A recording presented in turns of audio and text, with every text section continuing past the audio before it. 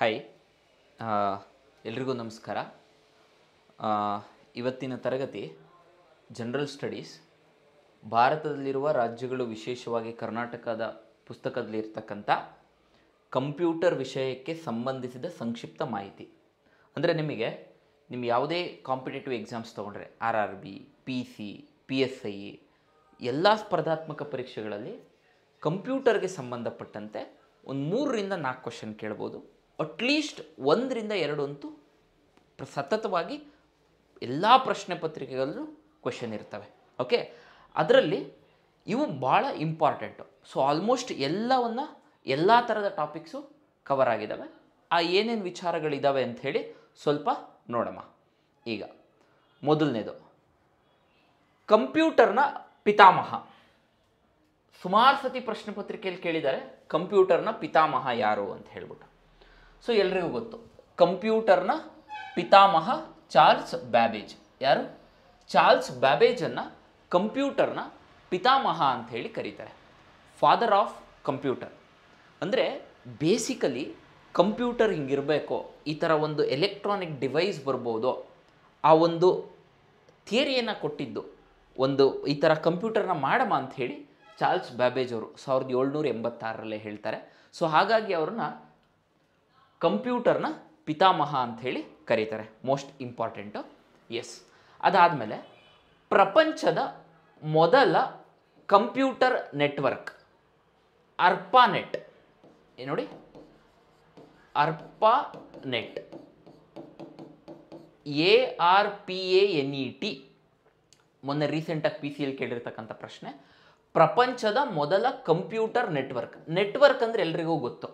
ಈಗ Airtel network B S N ಎಲ್ಲು Vodafone ಅಂತಿರಲ್ಲ ಅವೇನು ಮಾಡ್ತವೆ ಅಂದರೆ ಒಂದು ಟವರಿಂದ ಇನ್ನೊಂದು ಟವರಿಗೆ ಮೆಸೇಜ್ನ ಕಳಿಸ್ತವೆ.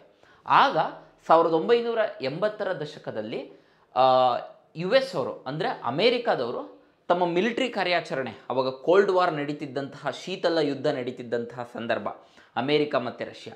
ಆ ಸಂದರ್ಭದಲ್ಲಿ ಅವರು ಮೆಸೇಜ್ಗಳನ್ನ ಒಂದು ಪ್ಲೇಸಿಂದ ಇನ್ನೊಂದು ಪ್ಲೇಸಿಗೆ ಹಾಗೆ ನೆಟ್ವರ್ಕ್ ಯೂಸ್ ಮಾಡಿ ಮೆಸೇಜ್ ಕಳಿಸೋವಂತೂ ಟೆಕ್ನಾಲಜಿನ ಸ್ಟಾರ್ಟ್ ಮಾಡ್ತಾ ಇರ್ತಾರೆ ಅವಾಗಿಂದ.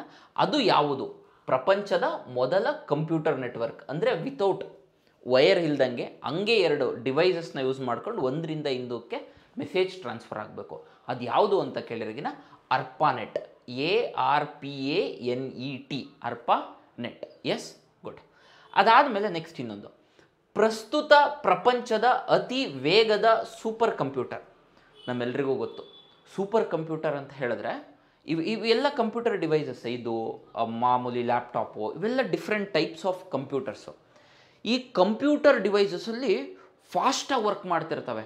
ಅಂದರೆ ಗಿಗಾ ಹರ್ಟ್ಸ್ ಸ್ಪೀಡಲ್ಲಿ ಹೆಕ್ಸಾ ಸ್ಪೀಡಲ್ಲಿ ಎಕ್ಸಾ ಫ್ಲಾಪ್ಸ್ ಸ್ಪೀಡಲ್ಲಿ, ಪೆಟಾ ಫ್ಲಾಪ್ ಸ್ಪೀಡಲ್ಲಿ. ಅಂದರೆ ಸಿಕ್ಕಾಬಟ್ಟೆ ಫಾಸ್ಟಾಗಿ use ಮಾಡ್ತಿರ್ತಾವೆ I I T, I A S ಸಿಗಳಲ್ಲೆಲ್ಲ. ರಿಸರ್ಚ್ಗೆ ಯೂಸ್ ಮಾಡ್ತಾ ಇರ್ತಕ್ಕಂಥ ಕಂಪ್ಯೂಟರ್ಗಳು ಅವೆಲ್ಲ ಅದರಲ್ಲಿ ಇವಾಗ ಅಟ್ ಪ್ರೆಸೆಂಟು ಅತಿ ವೇಗದ ಸೂಪರ್ ಕಂಪ್ಯೂಟರ್ ಯಾವುದು ಅಂತ ಹೇಳಿದ್ರೆ ಜಪಾನ್ ದೇಶದ ಫುಗಾಕು. ಟೆಕ್ನಾಲಜಿ ಹೆಂಗಾಗ್ತಿರುತ್ತೆ ಅಂದರೆ ಅಪ್ಡೇಟ್ ಆಗ್ತಾನೆ ಇರುತ್ತೆ. ಪ್ರತಿ ಒಂದು ದಿನ ಇವತ್ತು ಒಂದಿರುತ್ತೆ ನಾಳೆ ಇನ್ನೊಂದು ಬರುತ್ತೆ. ಹಂಗೆ ಫುಗಾಕು ಜಪಾನ್ ದೇಶದ ಸೂಪರ್ ಕಂಪ್ಯೂಟರ್ ಅಟ್ ಪ್ರೆಸೆಂಟ್. ಇವಾಗ ಯು ಎಸ್ ಅವರು ಇನ್ನೊಂದು ತೊಗೊಂಬರ್ತಾ ಇದ್ದಾರೆ ಫ್ರಾಂಟಿಯರ್ ಅಂತ ಹೇಳ್ಬಿಟ್ಟು. ಇದು four hundred and forty two peta flops ಸ್ಪೀಡಲ್ಲಿ work ಆಗುತ್ತೆ. ಯಾವುದು? ಫುಗಾಕು. ಅಮೇರಿಕಾದವ್ರು ಇನ್ನೊಂದು ಹೊಸ್ದಾಗಿ ತರ್ತೀವಿ, ನಾವು ರೀಸೆಂಟಾಗಿ ಇನ್ನೊಂದು ಎರಡು, ಮೂರು ತಿಂಗಳು ಬಿಟ್ಟು ಆ ವಿಚಾರಗಳು ಬರ್ತಾ ಇದ್ದಾವೆ ನ್ಯೂಸಲ್ಲೆಲ್ಲ ನೋಡಿರ್ತೀರ ನೀವು ಹಿಂದೂ ಪೇಪರಲ್ಲೆಲ್ಲ ಏನಂತ ಹೇಳಿದ್ರೆ ಫ್ರಾಂಟಿಯರ್ ಅಂತ ಇನ್ನೊಂದು ಹೊಸ ಸೂಪರ್ ಕಂಪ್ಯೂಟರ್ ಬರ್ತಿರುತ್ತೆ. ಹಂಗೆ ಪ್ರತಿಯೊಂದು ಅಪ್ಡೇಷನ್ಸ್ ಆಗ್ತಾ ಇರುತ್ತೆ. ಇವಾಗ at present Fugaku.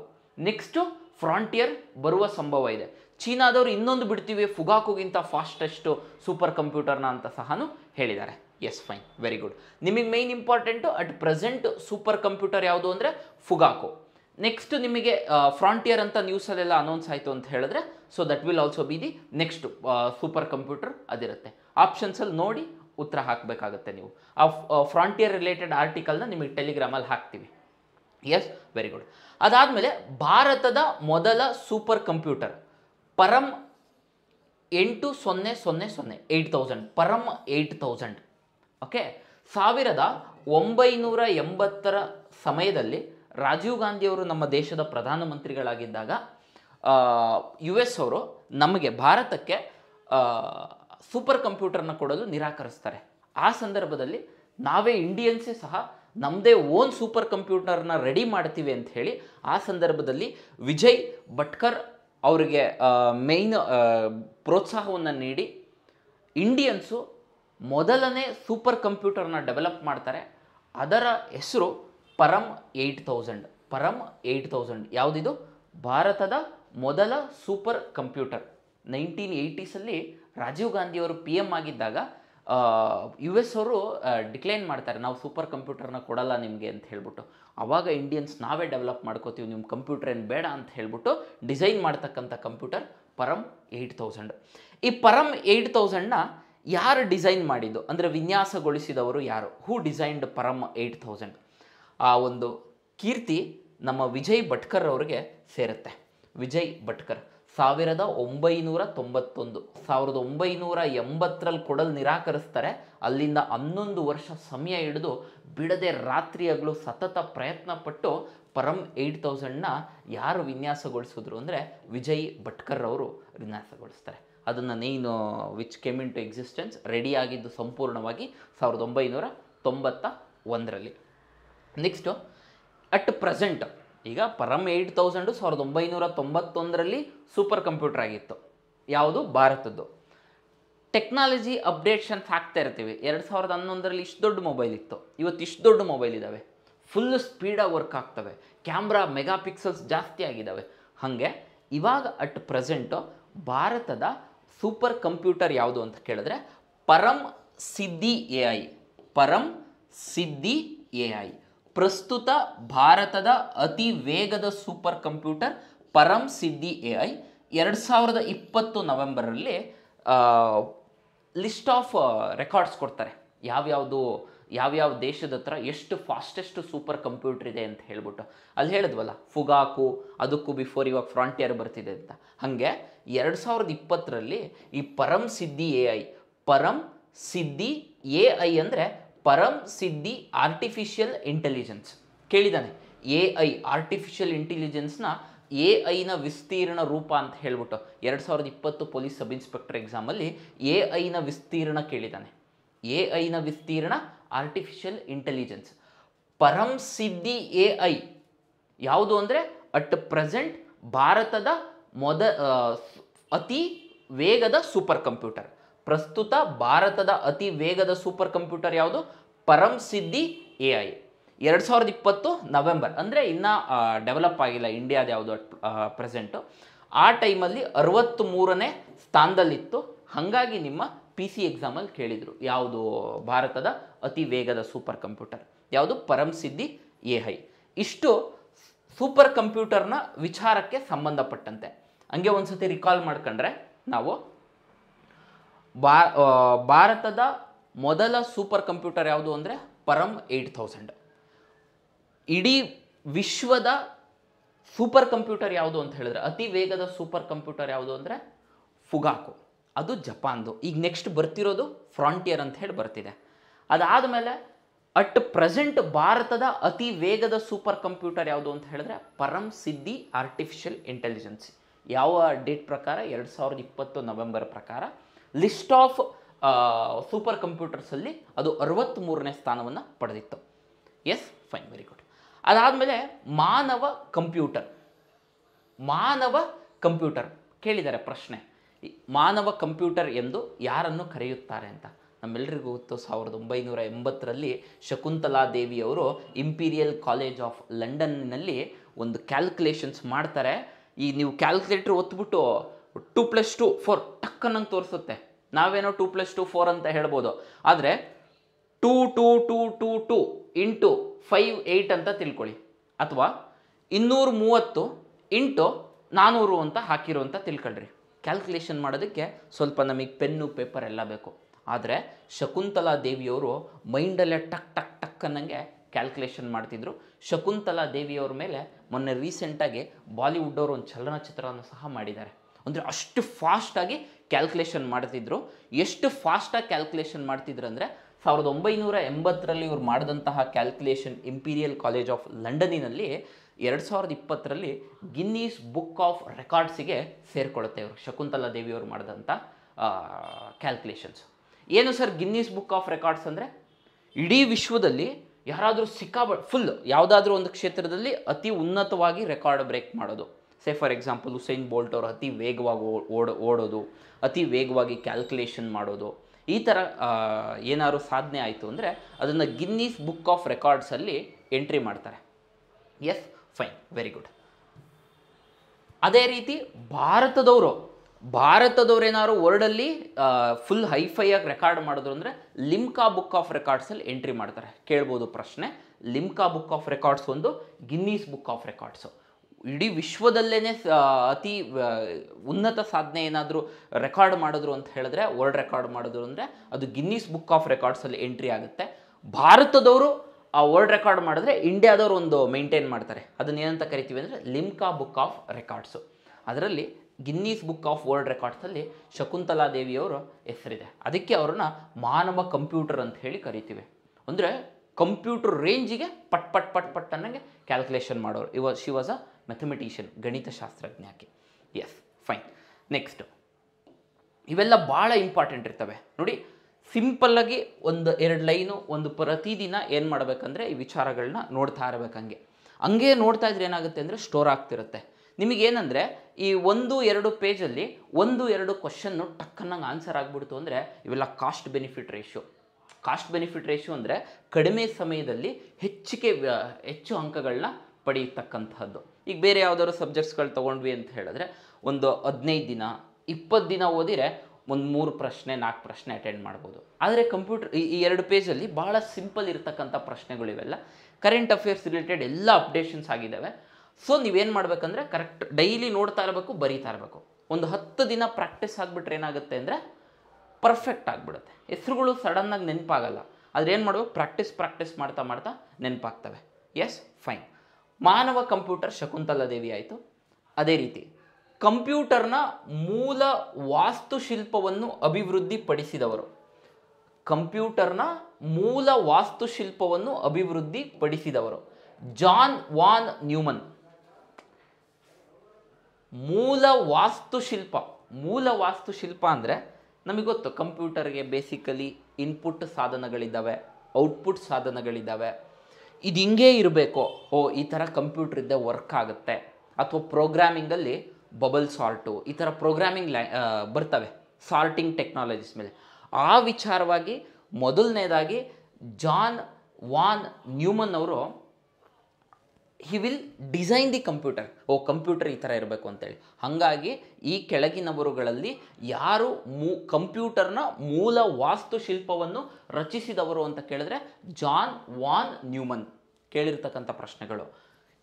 ಕರೆಕ್ಟಾಗಿ ನೆನ್ಪಿಡ್ಕೋಬೇಕು. ಇವೆಲ್ಲ ಇಂಗ್ಲೀಷ್ ನೇಮ್ಗಳು ನೆನ್ಪಿ ನೆನ್ಪುಳಿ ಎಲ್ಲ ಕನ್ಫ್ಯೂಸ್ ಆಗ್ತಿರ್ತವೆ, ಅದು ಇದು, ಆ ಥರ ಎಲ್ಲ ಏನಿಲ್ಲ.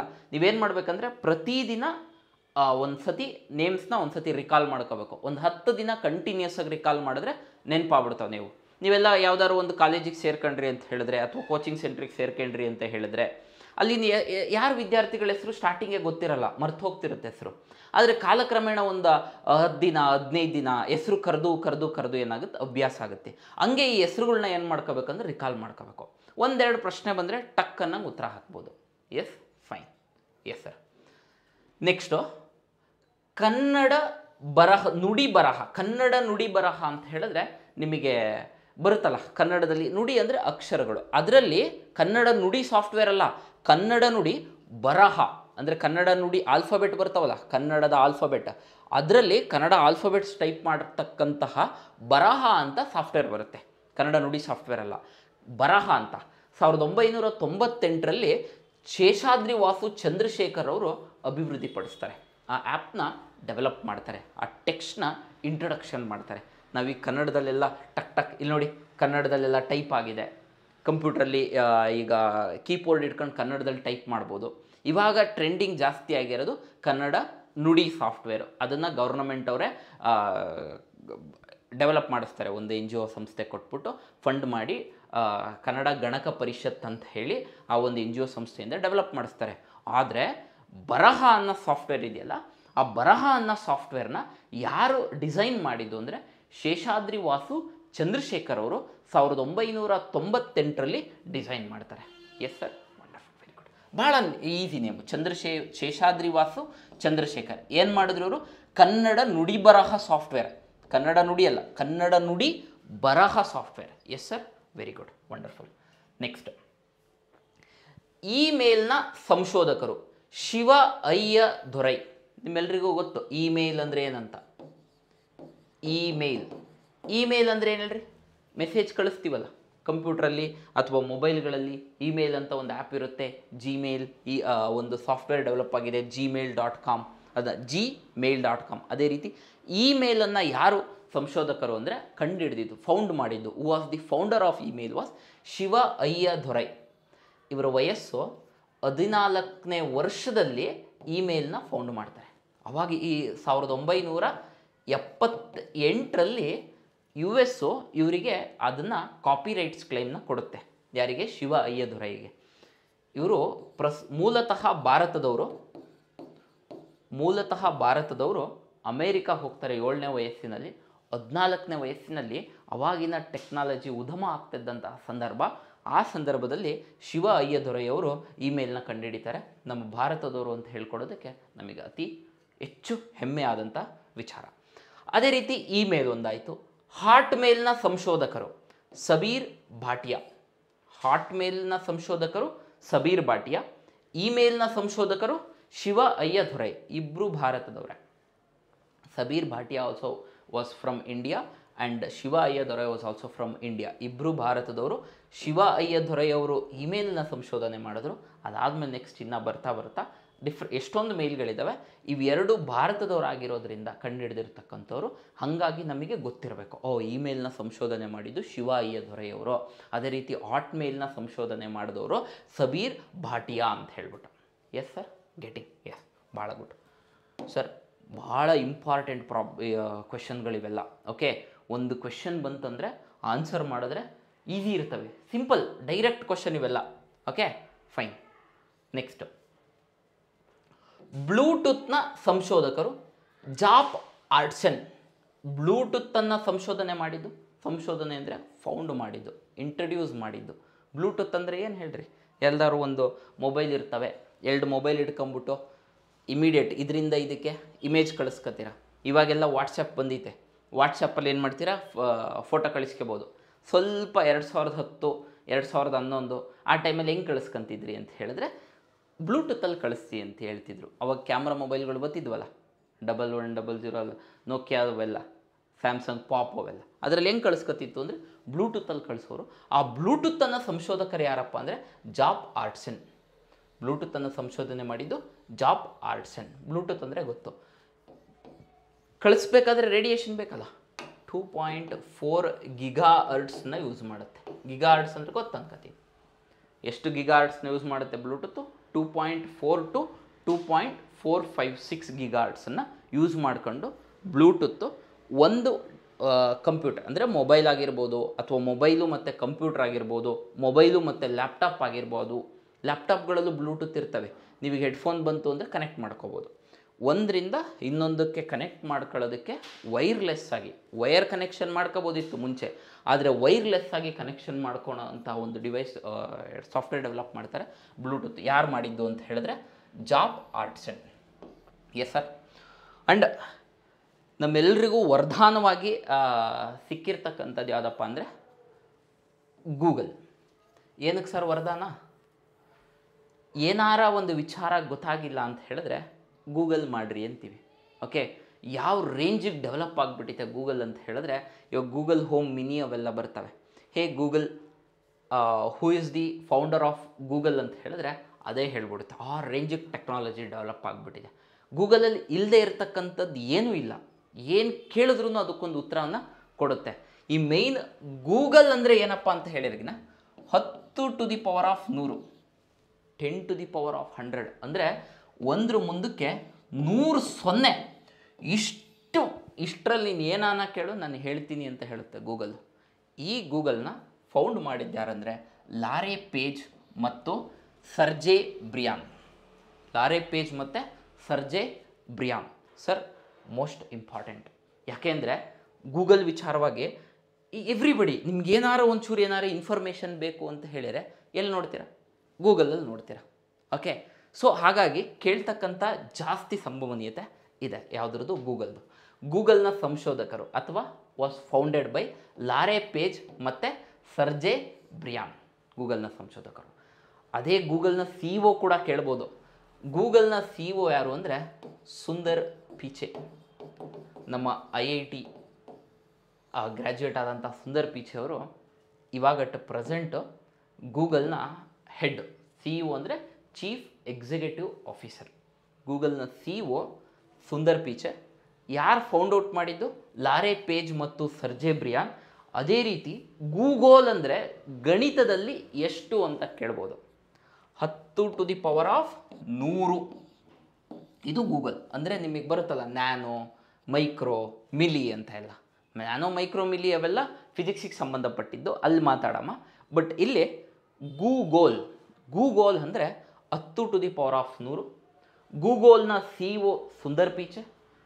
Google, ಗೂಗಲ್ನ ಸಂಶೋಧಕರು ಲಾರೆ ಪೇಜ್ ಮತ್ತು Sergey Brin.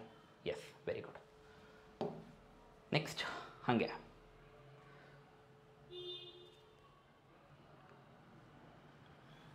ನೋಡಿ. ಫೇಸ್ಬುಕ್ನ ಸಂಶೋಧಕರು ಮಾರ್ಕ್ ಜೂಕರ್ಬರ್ಗ್. ಎರಡು ಸಾವಿರದ ನಾಲ್ಕರಲ್ಲಿ ಹಾರ್ವರ್ಡ್ ಯೂನಿವರ್ಸಿಟಿಯಲ್ಲಿ ಓದ್ತಿದ್ದಂತಹ ಮಾರ್ಕ್ ಝೂಕರ್ ಬರ್ ಅವರು ಅವ್ರ ಸ್ನೇಹಿತರ ಜೊತೆ ಸೇರಿಕೊಂಡು ಒಂದು ಆ್ಯಪ್ನ ಡೆವಲಪ್ ಮಾಡಮ್ಮ, ಒಂದು ವೆಬ್ಸೈಟ್ನ ಡೆವಲಪ್ ಮಾಡಮ್ಮ. ಈಗ ಎಲ್ಲರ ಮೊಬೈಲಲ್ಲಿ ಫೇಸ್ಬುಕ್ ಇದ್ದಾವೆ ಫೇಸ್ಬುಕ್ ಫೇಸ್ಬುಕ್ ಫೇಸ್ಬುಕ್. ಏನು ಫೇಸ್ಬುಕ್ ಅಂದರೆ ಸೋಷಿಯಲ್ ಮೀಡಿಯಾ. ಏನು ಸೋಷಿಯಲ್ ಮೀಡಿಯಾ ಅಂದರೆ ಯಾವುದೋ ಒಂದು ವೆಬ್ಸೈಟ್ನ ಯೂಸ್ ಮಾಡ್ಕೊಂಬಿಟ್ಟು ಇಲ್ಲಿ ಭಾರತದಲ್ಲಿರ್ತಕ್ಕಂಥ ನಾನು ಯು ಎಸ್ ಎದಲ್ಲಿರ್ತಕ್ಕಂಥ ನನ್ನ ಸ್ನೇಹಿತನ ಜೊತೆ ಮೆಸೇಜ್ ಮಾಡ್ಬೋದು ಅಥವಾ ಫ್ರೆಂಡ್ ಆಗ್ಬೋದು ಅಥವಾ ಒಂದು, ಒಂದೇ ವೆಬ್ಸೈಟಲ್ಲಿ, ವೆಬ್ಸೈಟ್ ಅಂದರೆ ಹೇಳ್ತೀನಿ, ಆ ವೆಬ್ಸೈಟಲ್ಲಿ ಇವರು ಫೋಟೋ ಅಪ್ಲೋಡ್ ಮಾಡ್ಬೋದು, ಅವರು ಫೋಟೋ ಅಪ್ಲೋಡ್ ಮಾಡ್ಬೋದು. ಅವ್ರಿಗೆ ಬೇಕಾಗಿದ್ದನ್ನು ಬರಿಬೋದು, ಇವ್ರಿಗೆ ಬೇಕಾಗಿದ್ದನ್ನು ಬರಿಬೋದು. ಆ ಇಬ್ಬರೂ ಬರೆದಂಥವ್ರು ಮಧ್ಯದಲ್ಲಿ ಇನ್ಫಾರ್ಮೇಷನ್ ಎಕ್ಸ್ಚೇಂಜ್ ಆಗಿ ಇವ್ರಿಗೆ ಇಷ್ಟ ಆದರೆ ಲೈಕ್ ಮಾಡೋದು ಕಮೆಂಟ್ ಮಾಡೋದೆಲ್ಲ ಮಾಡ್ತಿರಲ್ಲ. ಅಂದರೆ ವ್ಯೂಸ್ನ ಎಕ್ಸ್ಚೇಂಜ್ ಮಾಡೋದಕ್ಕೋಸ್ಕರ ಎಕ್ಸ್ಪ್ರೆಷನ್ಸ್ನ ಶೇರ್ ಮಾಡೋದಕ್ಕೋಸ್ಕರ ಒಂದು ಪ್ಲ್ಯಾಟ್ಫಾರ್ಮ್ನ ಕೊಡಬೇಕಂತ ಒಂದು ಥಾಟ್ ಎತ್ಕೊಂಡು ಇವತ್ತು ದ ಫೇಸ್ಬುಕ್ಕು ಬೃಹದಾಕಾರವಾಗಿ ಬೆಳೆದು ನಿಂತಿದೆ. It's a multinational company it's billion worth ಎಲ್ಲ ಅಕ್ವೈರ್ ಮಾಡ್ಕೊಂಡು ಬರ್ತಾ ಇದ್ದಾರೆ ಫೇಸ್ಬುಕ್ ಅವ್ರು ವಾಟ್ಸಪ್ ಅಕ್ವೈರ್ ಮಾಡ್ಕೊಂಡಿದ್ದಾರೆ ಇನ್ಸ್ಟಾಗ್ರಾಮ್ನ ಅಕ್ವೈರ್ ಮಾಡ್ಕೊತಾ ಇದ್ದಾರೆ ಎಲ್ಲ ಅಕ್ವೈರ್ ಮಾಡ್ಕೊಂಡು ಮಾಡ್ಕೊಂಡು ಮಾಡ್ಕೊಂಡು ಬಂದು ಅರೇಜ ಅದು ಅಂಥ ಫೇಸ್ಬುಕ್ನ ಅಷ್ಟು ಫೇಮಸ್ ಆಗಿರ್ತಕ್ಕಂಥ ಫೇಸ್ಬುಕ್ನ ಕಂಡುಹಿಡಿದಿದ್ದು ಯಾರು? ಫೌಂಡ್ ಮಾಡಿದ್ದು ಯಾರದು ಅಂದರೆ ಮಾರ್ಕ್ ಜುಕರ್ಬರ್ಗ್. ಅವರೇ at present C E O ಕೂಡ ಆಗಿದ್ದಾರೆ. At present C E O of Facebook is Zuckerberg. ಗೂಗಲ್ನ C E O Sundar Pichai. Yes very good ಎರಡು ಸಾವಿರದ ನಾಲ್ಕು, ಎರಡು ಸಾವಿರದ ಇಪ್ಪತ್ತೊಂದು ಆಗಸ್ಟ್ ಸಮಯದಲ್ಲಿ ಈ ಫೇಸ್ಬುಕ್ನ ನಾವು ಮೆಟಾ ಅಂತ ರೀನೇವ್ ಮಾಡ್ತೀವಿ ಅಂತ ಹೇಳಿ ಹೇಳಿದ್ದಾರೆ. ಯಾರು? ಜುಕರ್ಬರ್ಗು. ಫೇಸ್ಬುಕ್ ಏನೋ ಸ್ವಲ್ಪ ಕಾಂಟ್ರವರ್ಸಿ ಆಯಿತು. ಹಾಗಾಗಿ ಫೇಸ್ಬುಕ್ನ ಹೊಸದಾಗಿ ನೇಮ್ ಏನು ಮಾಡ್ತೀವಿ ಅಂತ ಹೇಳಿದ್ರೆ ಅಂದರೆ ಮೆಟಾ ಅಂತ ಹೇಳಿ ರೀನೇಮ್ ಮಾಡ್ತೀವಿ ಫೇಸ್ಬುಕ್ ಬೇಡ ಅಂತ ಹೇಳಿ ಅಂತ ಹೇಳಿ ಜುಕರ್ಬರ್ಗ್ ಅವ್ರು has given a press statement ಅದ್ರ ಪ್ರಕಾರನೇ ಇದು ನಡೀತಾ ಇದೆ. ನೀವು ಒಂದು ಸತಿ ಆ ವಿಚಾರವಾಗಿ ಏನು ಹೇಳಿದಾರಲ್ಲ, ಅದನ್ನು ಹಂಗೆ ಟೆಲಿಗ್ರಾಮಲ್ಲಿ ಹಾಕ್ತೀವಿ. ನೀವು ಅಪ್ಡೇಟ್ ಮಾಡ್ಕೋಬೇಕು. ಓಕೆ ಕೇಳ್ಬೋದು. ಫೇಸ್ಬುಕ್ನ ಮರುನಾಮಕರಣ ಮಾಡಿರುವುದು ಏನಂತ? ಯಾವ ಕೆಳಗಿನ ಒಳಗೆ ಮೆಟಾ ಅಂತ ಹೇಳಿ ಹೇಳ್ಬೋದು. ಅಪ್ಡೇಟ್ ಮಾಡ್ತೀವಿ, ಅದನ್ನು ಟೆಲಿಗ್ರಾಮಲ್ಲಿ ಹಾಕ್ತೀವಂತೆ. ಏನು ನೇಮ್ ಆಗಿದೆ ಅಂತ ಹೇಳ್ಬಿಟ್ಟು. ಬಟ್ ನಿಮಗೆ ಮೇಯ್ನ್ ಇಂಪಾರ್ಟೆಂಟ್ ಏನಪ್ಪ ಅಂದರೆ ಫೇಸ್ಬುಕ್ನ ಸಂಶೋಧಕರು, ಯಾರು ಮಾರ್ಕ್ ಜುಕರ್ಬರ್ಗ್. ಯಾರು ಕಂಡುಹಿಡಿದಿದ್ದು ಫೌಂಡ್ ಮಾಡಿದ್ದು ಐಡಿಯಾ ಕೊಟ್ಟಿದ್ದು ಅಂದರೆ ಮಾರ್ಕ್ ಜುಕರ್ಬರ್ಗ್. ಮೊಬೈಲ್ನ ಸಂಶೋಧಕರು Martin Cooper. Mobile phone. Mobile phone ಗೊತ್ತಲ್ಲ? ಎಷ್ಟು ಡೆವಲಪ್ ಆಗಿದೆ ಮೊಬೈಲ್ ಫೋನ್ ಅಂದರೆ, ಅವಾಗ ಫಸ್ಟ್ ಸ್ಟಾರ್ಟಿಂಗ್ ಮಾಡಿದಾಗ one point one K G ಇತ್ತಂತೆ. ಏನು? ಮೊಬೈಲ್ ಫೋನು ಆದರೆ ಈ ಮೊಬೈಲ್ ಫೋನ್ನ ಸ್ಟಾರ್ಟಿಂಗು ಸಾವಿರದ ಒಂಬೈನೂರ ಎಂಬತ್ತು ತೊಂಬತ್ತರ ದಶಕದಲ್ಲಿ ಯಾರು ಕಂಡಿಡ್ತಕ್ಕಂಥ ಕೊಟ್ಟಿದ್ದು ಅಂದರೆ ಮಾರ್ಟಿನ್ ಕೂಪರ್. ಮೊಬೈಲ್ನ ಸಂಶೋಧಕರು ಮಾರ್ಟಿನ್ ಕೂಪರ್. ಈ ಮಾರ್ಟಿನ್ ಕೂಪರ್ ಕಂಡಿಡ್ತಕ್ಕಂಥ ಮೊಬೈಲಿಗೆ ಹೆಸರಿಡ್ತಾರೆ. ಅದನ್ನೇ ಮೋಟೋರೋಲಾ ನೀವೆಲ್ರಿಗೂ ಗೊತ್ತಿರ್ಬೋದು. ವಾಸ್ ದಿ ಫಸ್ಟ್ ಮೊಬೈಲ್ ಅಂದರೆ ಮೋಟೋರೋಲಾ ಅಂತಾರೆ.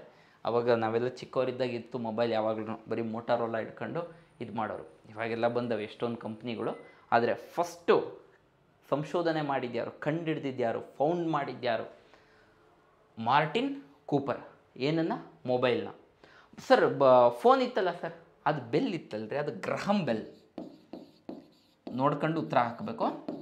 ಟೆಲಿಫೋನನ್ನು ಸಂಶೋಧನೆ ಮಾಡಿದ್ಯಾರು ಅಂದರೆ ಗ್ರಹಂ ಬೆಲ್. ಆದರೆ ಮೊಬೈಲ್ನ ಸಂಶೋಧನೆ ಮಾಡಿದ್ದಂದರೆ ಮಾರ್ಟಿನ್ ಕೂಪರ್. ಟೆಲಿಫೋನ್ಗೂ ಮೊಬೈಲ್ಗೂ ಏನು difference mobile is a wireless device that means ಮೊಬೈಲಿಗೆ ವೈರ್ ಕನೆಕ್ಷನ್ ಇರಲ್ಲ. ಆದರೆ ಟೆಲಿಫೋನಿಗೆ ವೈರ್ ಕನೆಕ್ಷನ್ ಇರುತ್ತೆ. Yes very good fine next ನೀವು ಹಂಗೆ ಬರ್ಕೋಬೇಕು ಇದನ್ನು. ಬರ್ಕೊಂಡು ನೀಟಾಗಿ ನೋಡ್ತಾ ಇರಬೇಕು ಪ್ರತಿದಿನ. ಓದ್ತಾ ಇರಬೇಕು ಓದ್ತಾ ಇದ್ದರೆ ಮಾತ್ರನೇ ಬರೋದು. ಇವೆಲ್ಲ ಹೊಸ ಹೆಸರುಗಳು ಅನ್ನಿಸ್ಬೋದು. ಆದರೆ ಪ್ರತಿದಿನ ರಿವಿಷನ್ ಮಾಡ್ತಾ ಮಾಡ್ತಾ ಮಾಡ್ತಾ ಏನಾಗುತ್ತೆ ಅಂದರೆ ತಲೆಯಲ್ಲಿ ಹಂಗೆ ಕೂತ್ಕೊಳ್ಳುತ್ತೆ. ಬಟ್ ಬರ್ತಿಲ್ಲ ಅಂತ ಹೇಳಿ you are not suppose to leave it sir ಭಾಳ ಸಿಂಪಲ್ ಇರ್ತಕ್ಕಂಥ ವಿಚಾರಗಳಿವೆಲ್ಲ. ಎಸ್ ಫೈನ್ ಟ್ವಿಟರ್ನ ಸಂಶೋಧಕರು. ನೋಡ್ರಿ, ಭಾಳ ಇಂಪಾರ್ಟೆಂಟ್ ಪ್ರಶ್ನೆ ಇದು ಟ್ವಿಟರ್ ಸಂಬಂಧಪಟ್ಟಂತೆ. ಯಾಕೆಂದರೆ ಏಪ್ರಿಲ್ ಇಪ್ಪತ್ತೈದು ಎರಡು ಸಾವಿರದ ಇಪ್ಪತ್ತೆರಡರಂದು ಎಲಾನ್ ಮಾಸ್ಕ್ ಅವರು ಟ್ವಿಟ್ಟರ್ನ ಖರ್ ಖರೀದಿ ಮಾಡಿ ಥ್ರೂಔಟ್ ವರ್ಲ್ಡ್ ವೈಡು ಖರೀದಿ ಅಂದರೆ ಶೇರ್ಸ್ನ ಜಾಸ್ತಿ ಮಾಡಿಕೊಂಡು ಭಾಳ ಇನ್ಫಾರ್ಮೇಷನ್ ಅಂದರೆ ಕರೆಂಟ್ ಅಫೇರ್ಸಿಗೆ ರಿಲೇಟೆಡ್ ಆಗಿ ಓಡ್ತಾ ಇದೆ. ಹಾಗಾಗಿ ಟ್ವಿಟರ್ ರಿಲೇಟೆಡ್ ಪ್ರಶ್ನೆ ಕೇಳ್ಬೋದು. ಓಕೆ, ಸೊ ಕರೆಕ್ಟು ಇದನ್ನು ಅಪ್ಡೇಟ್ ಮಾಡ್ಕೋಬೇಕು. ಟ್ವಿಟ್ಟರ್ನ ಸಂಶೋಧಕರು ಜಾಕ್ ಡೋರ್ಸೆ ಜಾಕ್ ಡೋರ್ಸೆ. ಯಾರು ಫೌಂಡ್ ಮಾಡಿದ್ದು? ಜಾಕ್ ಡೋರ್ಸೆ, ಟ್ವಿಟರ್ನ ಸಂಶೋಧಕರು. Biz Stone, Evan Williams, Noah Glass. ನಾಲ್ಕು ಜನ ಫ್ರೆಂಡ್ಸು ಸೇರ್ಕೊಂಡು ಮಾಡೋದು. ನಾಲ್ಕು ಹೆಸರು ಗೊತ್ತಿರಬೇಕು. ಇನ್ನೊಂದ್ಸತಿ ಓದ್ತಿ ನೋಡ್ರಿ. Jack Dorsey, Biz Stone Evan Williams, Noah Glass. Sir, ಹೆಸರು ಬರೋವಲ್ದು ಸರ್? ಮತ್ತೆ ಮತ್ತೆ ಮತ್ತೆ ಮತ್ತೆ. ಓದ್ಬೇಕು ನೀವು. ಓದ್ತಾ ಓದ್ತಾ ಏನಾಗುತ್ತೆ? ಬರುತ್ತೆ.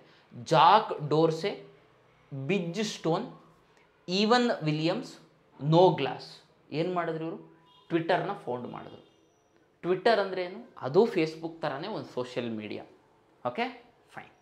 ಆ ಟ್ವಿಟ್ಟರ್ನ ಇತ್ತೀಚೆಗೆ ಹೆಚ್ಚಿನ ಶೇರ್ಸನ್ನು ನಮ್ಮ ಎಲಾನ್ ಮಾಸ್ಕ್ ಅವರು ತಗೊಂಡಿದ್ದಾರೆ. ಯಾರೀತ? ಎಲಾನ್ ಮಾಸ್ಕು ಸ್ಪೇಸ್ ಎಕ್ಸ್ ಮತ್ತು ಟೆಸ್ಲಾದ C E okay? Fine.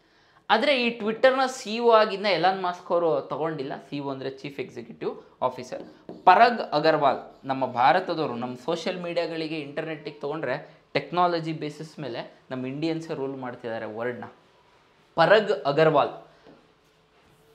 ಪರಗ್ ಅಗರ್ವಾಲು ಟ್ವಿಟರ್ನ C O ಈ ಟ್ವಿಟರ್ನ ಫೌಂಡ್ ಔಟ್ ಮಾಡಿದ್ದು ಯಾರು ಅಂದರೆ ಈ ನಾಲ್ಕು ಜನದ ಹೆಸರು ಗೊತ್ತಿರಬೇಕು. Jack Dorsey Biz Stone, Evan Williams, Noah Glass. ಇತ್ತೀಚೆಗೆ ಟ್ವಿಟರ್ನ ಖರೀದಿ ಮಾಡಿದ ಯಾರು? Elon Musk. ಎಲಾನ್ ಮಾಸ್ಕ್ ಯಾರು? ಸ್ಪೇಸ್ ಎಕ್ಸ್ ಮತ್ತು ಅಂಡ್ ಸ್ಪೇಸ್ ಎಕ್ಸ್ ಒಂದು ಕಂಪ್ನಿ, ಟೆಸ್ಲಾ ಒಂದು ಕಂಪ್ನಿ. ಆ ಎರಡೂ ಕಂಪ್ನಿಯ ಸಿ ಒ ಯಾರು? Elon Musk. ಕೇಳ್ಬೋದು ಪ್ರಶ್ನೆ. ಓಕೆ? ಫೈನ್. ಈಗ ಇಷ್ಟು ಇನ್ನೊಂದು ಸತಿ ಹಂಗೆ ಒಂದು ಸತಿ ರಿವಿಷನ್ ಮಾಡ್ಕೊಂಡು ನೀವು ಇದು ಮಾಡ್ಕೋಬೇಕು. ಓಕೆ? ಗ್ಲ್ಯಾನ್ಸ್ ಆಗಬೇಕು ಎಲ್ಲರೂ ಕುತ್ಕೊಂಡಿದ್ದಾಗ ಹಂಗೆ ಬುಕ್ ಎತ್ಕೊಂಡು ನೋಡ್ತಾ ಇರಬೇಕು. ಪ್ರತಿದಿನ ಒಂದು ಹತ್ತು ದಿನ ನೋಡಿದ್ರೆ ಎಲ್ಲ ಹೊಸ ಹೆಸರುಗಳು ಬರ್ತವೆ. ಓಕೆ ಫೈನ್ ನೆಕ್ಸ್ಟು ಇಲ್ಲಿ. ಎಸ್ ಇನ್ನೊಂದು ಸ್ವಲ್ಪ ಯಾರು ಸಂಶೋಧನೆ ಮಾಡಿದ್ದು, ಕೆಲವೊಂದು ಮೋಸ್ಟ್ ಇಂಪಾರ್ಟೆಂಟ್ ಯಾವ್ಯಾವ ಸೋಷಿಯಲ್ ಮೀಡಿಯಾಗಳಿದ್ದಾವೆ ಈ ಸೋಷಿಯಲ್ ಮೀಡಿಯಾ ರಿಲೇಟೆಡ್ ನಿಮ್ಮ ಪಿ ಸಿ ಪಿ ಎಸ್ ಐಲಿ ಎಷ್ಟು ಪ್ರಶ್ನೆ ಕೇಳಿದ್ದಾರೆ ನೀವು ಒಂದು ಸತಿ ನೋಡಬೇಕು. ಮೊನ್ನೆ ಪಿ ಎಸ್ ಐಲು ಕೇಳಿದ್ರು. ಪ್ರತಿ ಕ್ವಶನ್ ಪೇಪರಲ್ಲೂ ಎರಡು ಕಂಪ್ಯೂಟ್ರಿಗೆ ಪ್ರಶ್ನೆ ಇರ್ತವೆ. ಅದು ನಿಮ್ಮ ಸಿಲೆಬಸ್ಸಲ್ಲೂ ಹೇಳಿದ್ದಾರೆ ಬೇಸಿಕ್ ಕಂಪ್ಯೂಟರ್ ಅವೇರ್ನೆಸ್ಸಿಗೆ ಸಂಬಂಧಪಟ್ಟಂತೆ ನಿಮ್ಮ ಪಿ ಸಿ ಪಿ ಎಸ್ ಸಿಯಲ್ಲಿ ಪ್ರಶ್ನೆ ಇರುತ್ತೆ ಅಂತ ಹೇಳಿ. Yes sir fine very good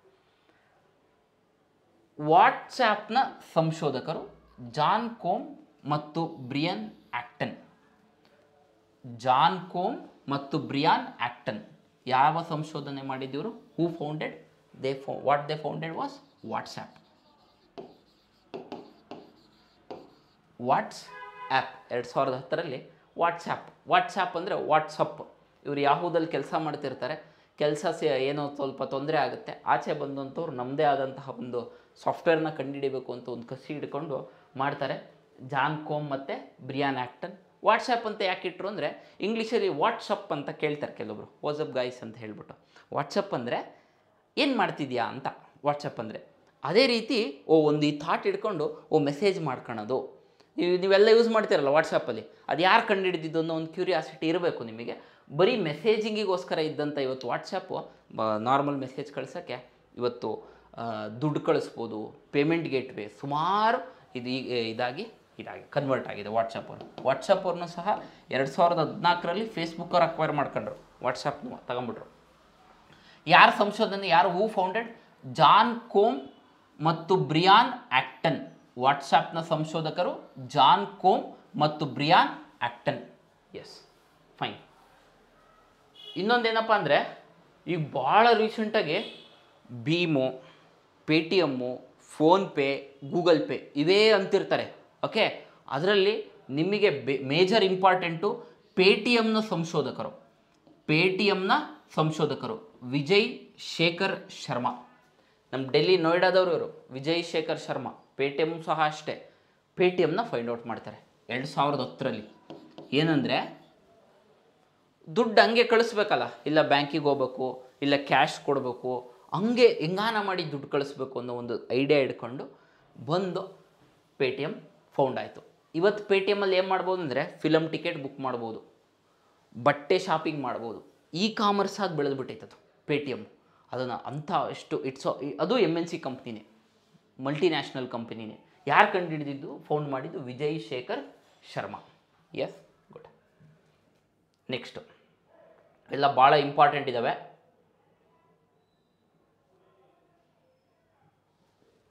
ವಾಲ್ಮಾರ್ಟ್ನ ಸಂಶೋಧಕರು. Sam Walton. ಈ ವಾಲ್ಮಾರ್ಟ್ ಅಂದರೆ ಅಮೇರಿಕಾದಲ್ಲಿ ನಾವೀಗೆಲ್ಲ ಇಂಡಿಯಾದಲ್ಲೂ ಇದಾವೆ ಈಗ. ಬಿಗ್ ಬ್ಯಾಸ್ಕೆಟು ನಿಂಜಾ ಕಾರ್ಟು ಅಂತೆಲ್ಲ ಹೇಳ್ಬಿಟ್ಟು. ಅದೇ ರೀತಿ ಈ ವಾಲ್ಮಾರ್ಟಲ್ಲಿ ಐಡಿಯಾ ಬಂತು.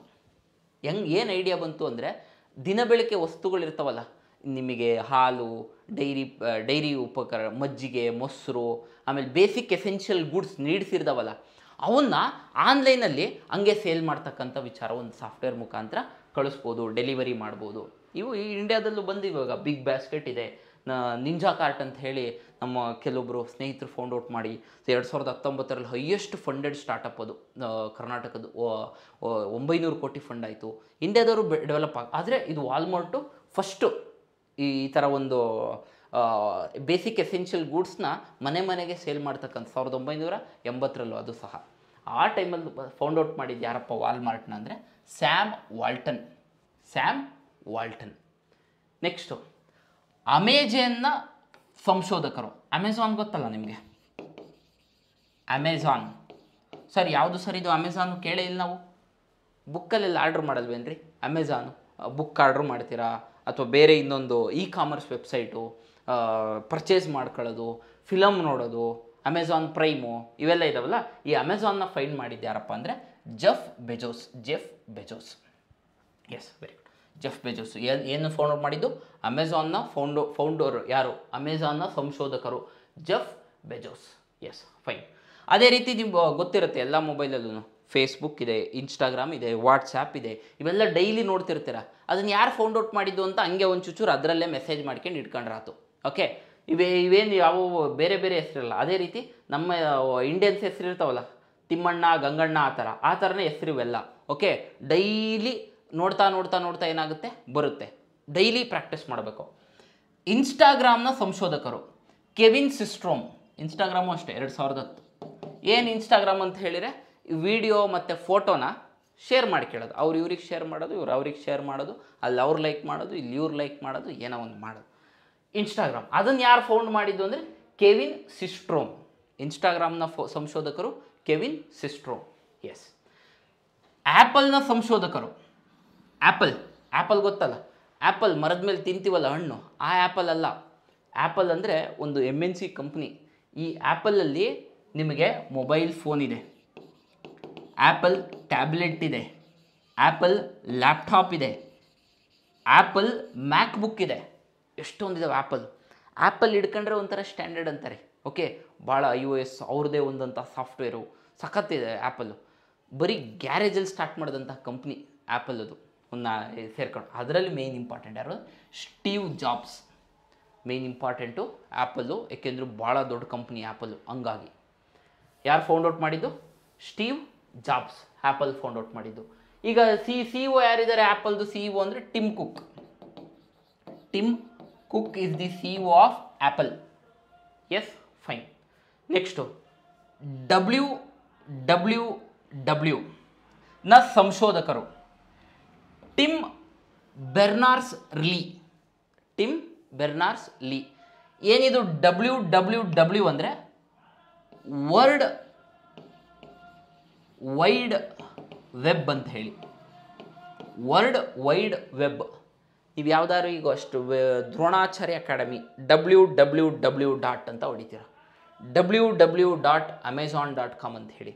ಅಂದರೆ ಒಂದು ಇಂಟರ್ನೆಟ್ಟಲ್ಲಿ ಆ ಒಂದು ಅಪ್ಲೋಡ್ ಮಾಡಿ ಅಲ್ಲಿ ಆ ಒಂದು ಬ್ರೌಸರ್ ಇರುತ್ತಲ್ಲ ಓಕೆ ಅಲ್ಲಿಗೆ ನಮಗೆ ವಿಡಿಯೋ ಫೋಟೋ ಟೆಕ್ಸ್ಟು ಎಲ್ಲ ಶೇರ್ ಮಾಡ್ಕೊಳ್ತಕ್ಕಂಥದ್ದಕ್ಕೆ ಒಂದು ಸ್ಟೋರೇಜ್ ಬಿದ್ದಬೇಕಿತ್ತು ಆ ಒಂದು ಬ್ರೌಸಿಂಗಿಗೆ ಮೇಯ್ನು ಎತ್ಕೊಂಡು ಬಂದಿದ್ದು ಹೆಚ್ ಟಿ ಟಿ ಪಿ ಮೇಲೆ ಬರುತ್ತೆ ಹೈಪರ್ ಟೆಕ್ಸ್ಟ್ ಮಾರ್ಕಿಂಗ್ ಲ್ಯಾಂಗ್ವೇಜು ಆ ಒಂದು ಯೂಸ್ ಮಾಡಿಕೊಂಡು ಡೇಟಾನ ಅಲ್ಲಿಗೆ ಹಾಕ್ಬೋದು. ಅದರಲ್ಲಿ ಡಬ್ಲ್ಯೂ ಡಬ್ಲ್ಯೂ ಡಬ್ಲ್ಯೂನ ಯೂಸ್ ಮಾಡ್ಬೋದು. ಅದರ ಫುಲ್ ಫಾರ್ಮ್ ಇದೇನಪ್ಪ ಅಂದರೆ ವಿಸ್ತೀರ್ಣ ರೂಪ ವರ್ಲ್ಡ್ ವೈಡ್ ವೆಬ್ಬು ಇದನ್ನು ಯಾರು ಕಂಡುಹಿಡಿದಿದ್ದು ಸಂಶೋಧನೆ ಮಾಡಿದ್ದು ಅಂದರೆ ಟಿಮ್ ಬೆರ್ನಾರ್ಸ್ ಲೀ. ಸರ್ ಭಾಳ ಇಂಪಾರ್ಟೆಂಟ್ ಫ್ಯಾಕ್ಚುಯಲ್ಸ್ ಇವೆಲ್ಲ. ನೀವು ಪ್ರತಿದಿನ ಡೈಲಿ ಪ್ರಾಕ್ಟೀಸ್ ಮಾಡ್ತಾ ಮಾಡ್ತಾ ಮಾಡ್ತಾ ಏನಾಗುತ್ತೆ? ಮೆಮೊರೈಸ್ ಆಗುತ್ತೆ. ಓಕೆ? ಫೈನ್. ಕಂಪ್ಯೂಟ್ರ್ ಮೇಲೆ ಒಂದು ಪ್ರಶ್ನೆ ಬಂದ್ರೂ ನಿಮ್ಮ ನಿಮ್ಮ ಯಾವುದೇ ನೆಕ್ಸ್ಟು ಎಕ್ಸಾಮ್ಗಳಲ್ಲಿ ಒಂದು ಬಿಡಬಾರ್ದು. ಹಂಗೆ ಆನ್ಸರ್ ಮಾಡಬೇಕು. ಎಸ್? ಫೈನ್. ಅದಾದಮೇಲೆ ಇಂಟರ್ನೆಟ್ ಪ್ರೋಟೋಕಾಲ್ನ ಸಂಶೋಧಕರು Robert E. Kahn. Internet protocol ಗೊತ್ತಲ್ಲ? ಇಂಟರ್ನೆಟ್ ಪ್ರೋಟೋಕಾಲ್ ಅಂದರೆ ಐ ಪಿ ಅಂತ ಕೇಳ್ತಾರೆ. I P. ಐ ಪಿ ಅಂದರೆ ನೀವು ಈ ಪೊಲೀಸ್ ಡಿಪಾರ್ಟ್ಮೆಂಟಲ್ಲಿ ಕೆಲಸ ಮಾಡ್ತಿದ್ರೆ ಅಥವಾ ಫಿಲಮ್ ನೋಡ್ತಿದ್ರೆ ಐ ಪಿ ಅಡ್ರೆಸ್ ಯೂಸ್ ಮಾಡ್ಕೊಂಡು ಅವ್ರನ್ನ ಟ್ರೇಸ್ ಮಾಡೋದು ಅಂತ ಹೇಳ್ಬಿಟ್ಟು ಹೇಳ್ತಾರೆ. ನಿಮ್ಮ ಮೊಬೈಲ್ದು ಇಂಟರ್ನೆಟ್ ತೆಗೆದ್ರೂ ಅದರಲ್ಲಿ ಒಂದಿರುತ್ತೆ ಐ ಪಿ ಅಡ್ರೆಸ್ ಅಂತ ಹೇಳಿರುತ್ತೆ. ಓಕೆ? ಆ ಐ ಪಿ ಅಡ್ರೆಸ್ ಅಂದರೆ ಒಂದು ಡಿವೈಸಿಗೆ ಒಂದು one nine one dot two zero four dot one nine nine two ಈ ಥರ ಒಂದು ಅಡ್ರೆಸ್ ಅಟ್ಯಾಚ್ ಆಗುತ್ತೆ. ನಿಮಗೊಂದು ಅಡ್ರೆಸ್ ಇರಲ್ವಾ? ಅದೇ ರೀತಿ ಆ ಡಿವೈಸಿಗೆ ಅಲ್ಲಿಂದ ಏನಾದ್ರು ನೆಟ್ವರ್ಕಿಗೆ ಹೋಯಿತು ಅಂತ ಹೇಳಿದ್ರೆ ಡೇಟಾ ಶೇರ್ ಮಾಡ್ಕೊಳ್ಳೋದಕ್ಕೆ ಈ ಡಿವೈಸಿಂದ ಬಂತು ಅಂತ ಹೇಳಿ. ಅದೇ ನಾವು ಇಂಟರ್ನೆಟ್ ಪ್ರೋಟೋಕಾಲ್ ಅಂತ ಹೇಳಿ ಕರಿತೀವಿ. ಆ ಇಂಟರ್ನೆಟ್ ಪ್ರೋಟೋಕಾಲ್ನ ಸಂಶೋಧಕರು ಯಾರು ಅಂದರೆ ರಾಬರ್ಟ್ ಇ. ಖಾಯ್ನೆ ಇಂಟರ್ನೆಟ್ನ ಇಂಟರ್ನೆಟ್ ಪ್ರೋಟೋಕಾಲ್ನ ಸಂಶೋಧಕರು ರಾಬರ್ಟ್ ಇ. ಖಾಯ್ನೆ ಕೇಳ್ಬೋದು. ಐ ಪಿ ಫುಲ್ ಫಾರಮ್ನ ಕೇಳ್ಬೋದು. I P full form internet protocol ಎಲ್ಡಿದೆ ಒಟ್ಟು ಪ್ರೆಸೆಂಟು ನಿಮ್ಮ ಇಂಜಿನಿಯರಿಂಗ್ಗಳಲ್ಲಿ ಸಿಕ್ಸ್ ಎಮ್ಮಲ್ಲಿ ಓದ್ತೀರಾ? I P V four and I P V six ಅಂತ. ಐ ಪಿ ವಿ ಫೋರ್ ಅಂದರೆ internet protocol version four I P V six ಅಂದರೆ internet protocol version six I P V four ಅಂದರೆ internet protocol version four internet protocol version six I P ಅಂದರೆ internet protocol internet ಪ್ರೋಟೋಕಾಲ್ನ ಸಂಶೋಧಕರು ಯಾರು ಅಂತ ಹೇಳಿದ್ರೆ, Robert E. Kahn. Sir next ಭಾಳ important C plus plus ಏನಿದು C plus plus A plus plus B plus plus ಅಂತ ಎಲ್ಲ ಇರುತ್ತೆ? ಅಲ್ಲ ಸಿ ಪ್ಲಸ್ ಪ್ಲಸ್ ಅಂದರೆ ಒಂದು ಪ್ರೋಗ್ರಾಮಿಂಗ್ ಲ್ಯಾಂಗ್ವೇಜ್ ಲ್ಯಾಂಗ್ವೇಜ್ ಅಂದರೆ ಭಾಷೆ. ಕಂಪ್ಯೂಟ್ರಿಗೆ ಇನ್ಪುಟ್ಟು ಕೊಡಬೇಕಲ್ಲ, ಅದರಲ್ಲಿ ಒಂದು ಭಾಷೆ. C plus plus Java Python JavaScript C ಆ್ಯಶು ಎಷ್ಟೊಂಥರ ಥರ ಪ್ರೋಗ್ರಾಮಿಂಗ್ ಲ್ಯಾಂಗ್ವೇಜಸ್ ಇದ್ದಾವೆ ಅದರಲ್ಲಿ main important C plus plus. ಇದನ್ನು ಸಂಶೋಧನೆ ಮಾಡಿದ್ದು ಯಾರಪ್ಪ ಅಂತ ಹೇಳಿದ್ರೆ ಬಿಜಾನ್ರ್ ಸ್ಟ್ರೌಟ್ಸ್ ಸ್ಟ್ರಪ್. ಬಿಜಾನ್ರ್ ಸ್ಟ್ರೌಟ್ಸ್ ಸ್ಟ್ರಪ್. ಏನು ಮಾಡಿದ್ರು ಅವರು ಸಿ ಪ್ಲಸ್ ಪ್ಲಸ್ನ ಸಂಶೋಧನೆ ಮಾಡಿದ್ರು. ಸಿ ಪ್ಲಸ್ ಪ್ಲಸ್ನ ಸಂಶೋಧನೆ ಮಾಡಿದ್ದು ಅಂದರೆ ಕಂಪ್ಯೂಟರ್ಗೆ ಈ ಥರ ಒಂದು ಲ್ಯಾಂಗ್ವೇಜಸ್ಸಲ್ಲಿ ತಿಳಿಸ್ಕೊಡ್ಬೋದು. ಅದರಲ್ಲಿ ಎಷ್ಟು ಸುಮಾರು ಲ್ಯಾಂಗ್ವೇಜಸ್ ಇಲ್ಲ ಇದ್ದಾವೆ ಅದರಲ್ಲಿ ಮೇಯ್ನ್ ಇಂಪಾರ್ಟೆಂಟ್ ಲ್ಯಾಂಗ್ವೇಜು ಒಂದು ಸಿ ಪ್ಲಸ್ ಪ್ಲಸ್ಸು. ಯಾಕೆಂದರೆ ಸಿ ಪ್ಲಸ್ ಪ್ಲಸ್ ಇಂಪಾರ್ಟೆಂಟು ಈಗ ಐದನೇ ಕ್ಲಾಸ್ ಆರನೇ ಕ್ಲಾಸ್ ನಿಮ್ಮ ಐ ಸಿ ಎಸ್ ಸಿ ಸಿಲೆಬಸ್ಸಲ್ಲೆಲ್ಲ ಓದ್ತಿರ್ತಕ್ಕಂಥವ್ರು ನಿಮ್ಮ ಯಾರು ತಮ್ಮಂದರು, ಅಣ್ಣನ ಮಕ್ಳು ಇದ್ದರು ಅಂದರೆ ಸಿ ಪ್ಲಸ್ ಪ್ಲಸ್ ಅಂತಿರ್ತಾರೆ. ಬೇಸಿಕ್ ಫಂಡಮೆಂಟಲ್ಸ್ ಆಗೋಗ್ಬಿಟ್ಟಿದೆ. ಹಾಗಾಗಿ ಸಿ ಪ್ಲಸ್ ಪ್ಲಸ್ ಬಗ್ಗೆ ಗೊತ್ತಿರಬೇಕು. ಫೈನ್ ಸರ್ ಇಷ್ಟು ನಿಮಗೆ ಫ್ಯಾಕ್ಚುಯಲ್ಸ್ ಯಾರು ಯಾವುದರ ಸಂಶೋಧನೆ ಮಾಡಿದ್ರು ಮೇನ್ ಇಂಪಾರ್ಟೆಂಟು ಓಕೆ ಅದೇ ರೀತಿ ಯಾವುದಾದ್ರೂ ಒಂದು ಆ್ಯಪ್ ನ್ಯೂಸಲ್ಲಿ ಇತ್ತು ಅಂದರೆ ಆ ಆ್ಯಪಿನ ಸಂಶೋಧಕರು ನಿಮ್ಗೆ ಯಾವುದೇ ಕಾರಣಕ್ಕೂ ಮರಿಬಾರದು. ಎಕ್ಸಾಂಪಲ್ ಟ್ವಿಟ್ಟರ್ ಟ್ವಿಟ್ಟರ್ ಯಾಕೆ? ರೀಸೆಂಟಾಗಿ ಭಾಳ ನ್ಯೂಸಲ್ಲಿದೆ ಟ್ವಿಟ್ಟರ್ ಓಕೆ ಸೊ ಹಂಗೆ ಯಾಕೆಂದರೆ ನಮ್ಮ ದೇಶದ ಪ್ರಧಾನಮಂತ್ರಿಗಳು ಸಹ ಟ್ವಿಟ್ಟರ್ ಅಕೌಂಟ್ ಇಟ್ಕೊಂಡಿದ್ದಾರೆ.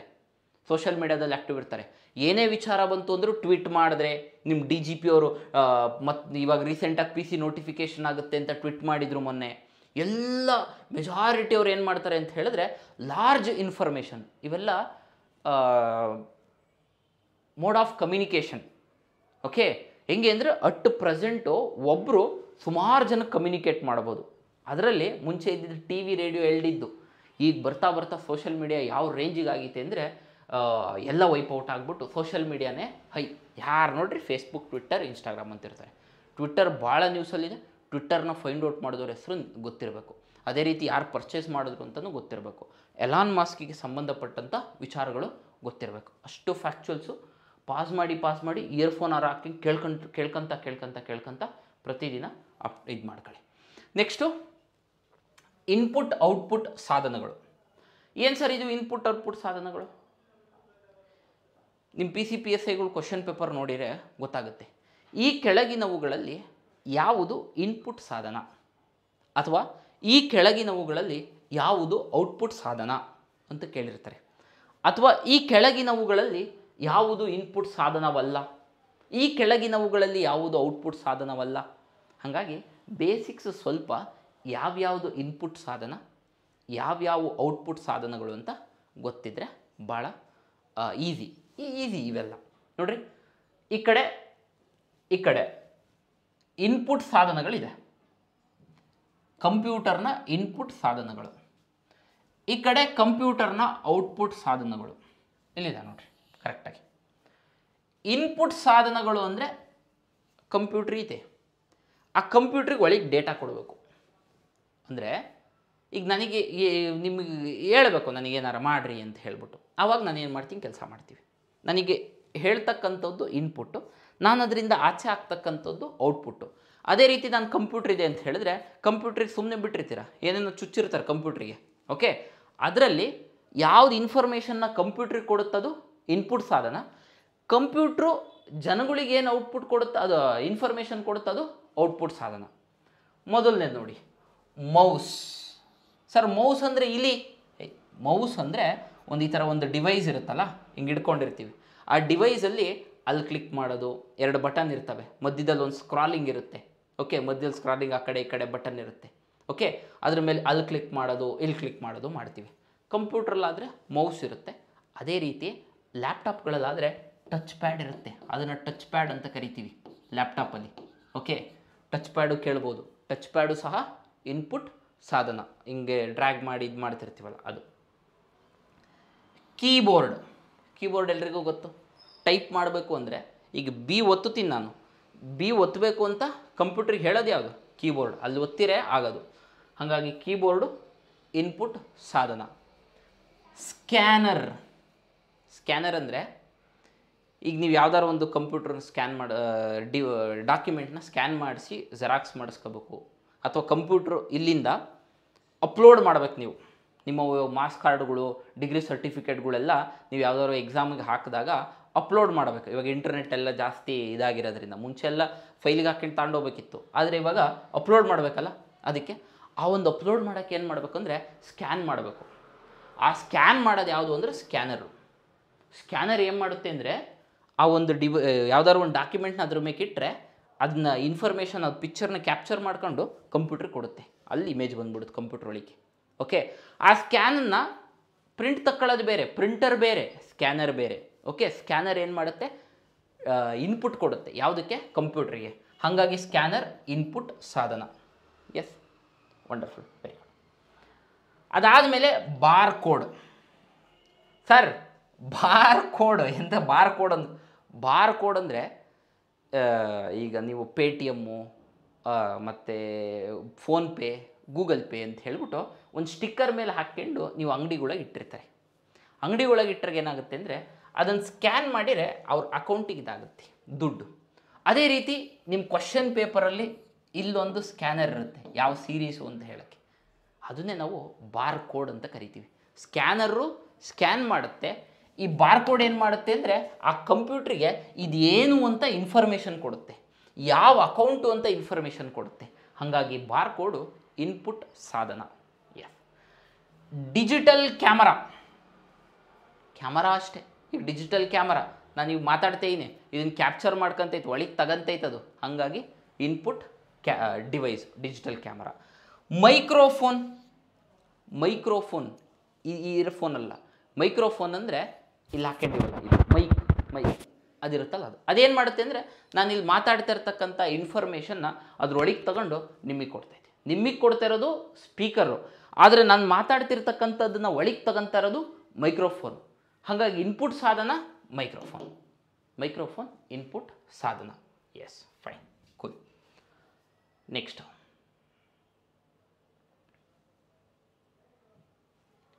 touch screen ಏನು ಸರ್ ಇದು ಟಚ್ ಸ್ಕ್ರೀನು ಇಲ್ಲಿ ನೋಡ್ರಿ, ಇಲ್ಲಿ ಮುಟ್ಟುತ್ತೆ ಇಲ್ಲಿ. ಹಿಂಗೆ ಹೋಗ್ತೈತೆ ಇದು. ಇದು ಟಚ್ ಸ್ಕ್ರೀನು ಹಿಂಗೆ ಮುಟ್ಟು ಎಳೆದು ಇಲ್ಲಿ ಮುಟ್ಟಿ ಮುಟ್ಟಿರೆ ಇಲ್ಲೇ ಮುಟ್ತೀನಿ ಅಂತ ಗೊತ್ತಾಗ್ತೈತೆ ಇದಕ್ಕೆ. ಇದು ಟಚ್ ಸ್ಕ್ರೀನ್ ಅಂದರೆ ಕಂಪ್ಯೂಟ್ರ್ ಒಳಗೆ ಕೊಡ್ತಾ ಇದೆ. ಓ, ಇಲ್ಲಿ ಮುಟ್ದ ಅವನು ಇದನ್ನು ಎಳಿತಾ ಇದ್ದಾರೆ ಇಲ್ಲಿ ಇಲ್ಲಿ ಇಳಿ ಇದನ್ನು ಎಳಿತಾ ಇದ್ದಾನೆ ಅಂತ. ಹಾಗಾಗಿ ಟಚ್ ಸ್ಕ್ರೀನು ಇನ್ಪುಟ್ ಸಾಧನ. Fine webcam webcam ಅಂದರೆ ನೀವು ಈ ನೆಮ್ಮದಿ ಕೇಂದ್ರದಲ್ಲೆಲ್ಲ ಹೋದ್ರಿ ಅಂದರೆ ಅಲ್ಲೊಂದು ಕ್ಯಾಮ್ರಾ ಇಟ್ಕೊಂಡು ಅದರಲ್ಲಿ ಡಿವೈಸ್ ತಗೊಂಡು ಆಧಾರ್ ಕಾರ್ಡಿಗೆಲ್ಲ ಅಪ್ಲೋಡ್ ಮಾಡ್ತಿರ್ತಾರೆ, ಫೋಟೋ ತಕ್ಕಂತಿರ್ತಾರೆ. ಆ ಫೋಟೋ ತಕ್ಕೊಳ್ಳೋದು ಇನ್ಪುಟ್ ಸಾಧನ. ಅಂದರೆ ವೆಬ್ ಕ್ಯಾಮ್ ಲ್ಯಾಪ್ಟಾಪ್ಗಳಲ್ಲೆಲ್ಲ ಇನ್ಬಿಲ್ಟ್ ಇರುತ್ತೆ. ಕಂಪ್ಯೂಟರ್ಗಳು ತಾಂಡ್ರಿ ಅಂದರೆ ಆಚೆಗಡೆ ಸಪ್ರೇಟಾಗಿ ಚುಚ್ಚಿರ್ತಾರೆ. ಫೈನ್ ಜಾಯ್ಸ್ಟಿಕ್ ಜಾಯ್ಸ್ಟಿಕ್ ಅಂದರೆ ಇದು ಸೇಮಲ್ಲಿ ಮಾಮೂಲಿ ಮೌಸ್ ಥರನೇ ಬರುತ್ತೆ. ನಾವೆಲ್ಲ ಮುಂಚೆ ಗೇಮ್ ಆಡ್ತಿದ್ದು ಕೌಂಟರ್ ಸ್ಟ್ರೈಕು ಅಥವಾ need for speed most wanted N F S ಅಂತೆಲ್ಲ ಗೇಮ್ಗಳು ನಿಮಗೆ ಗೊತ್ತಿದ್ರು ಗೊತ್ತಿರುತ್ತೆ. ಕಂಪ್ಯೂಟರ್ಗಳಲ್ಲಿ ಗೇಮ್ ಆಡೋಕ್ಕೆ ನಿಮ್ಮ ಗೇಮಿಂಗ್ ಸೆಂಟ್ರ್ಗಳು ಯಾವುದಾದ್ರು ಇತ್ತು ಅಂದರೆ ಹಳ್ಳಿಗಳಲ್ಲಿ ಕಂಪ್ಯೂಟ್ರದು, ಅಲ್ಲೊಂದು ಕಡ್ಡಿ ಹಿಂಗೆ ಕೊಟ್ಟಿರ್ತಾರೆ. ಈ ಈ ಬರೀ ಆ್ಯರೋ ಮಾರ್ಕಿಂಗ್ ಅಂತ ಇರೋದು ಕಾರ್ ರೇಸಿಂಗ್ ಅಂತ ಇರೋದು.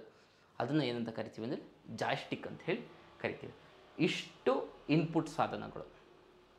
Mouse keyboard scanner barcode digital camera microphone touch screen webcam joystick ಇವೆಲ್ಲ ಎಂಥವು ಇನ್ಪುಟ್ ಸಾಧನಗಳು. ಫೈನ್ ಬಾಯ್ಪಾಡ್ದಲ್ಲಿ ನೋಡ್ತಿದ್ದಂಗೆ ಗೊತ್ತಾಗ್ಬಿಡೋಕು. ಇದು ಇನ್ಪುಟ್ಟು ಅದು ಔಟ್ಪುಟ್ಟು ಅಂತ.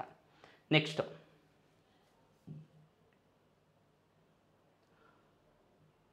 ನೋಡಿ, ಕಂಪ್ಯೂಟರ್ನ ಔಟ್ಪುಟ್ ಸಾಧನಗಳು. ಕಂಪ್ಯೂಟರ್ನ ಔಟ್ಪುಟ್ ಸಾಧನಗಳು. ಯಾವ್ಯಾವುದು ಕಂಪ್ಯೂಟರ್ನ ಔಟ್ಪುಟ್ ಸಾಧನಗಳು?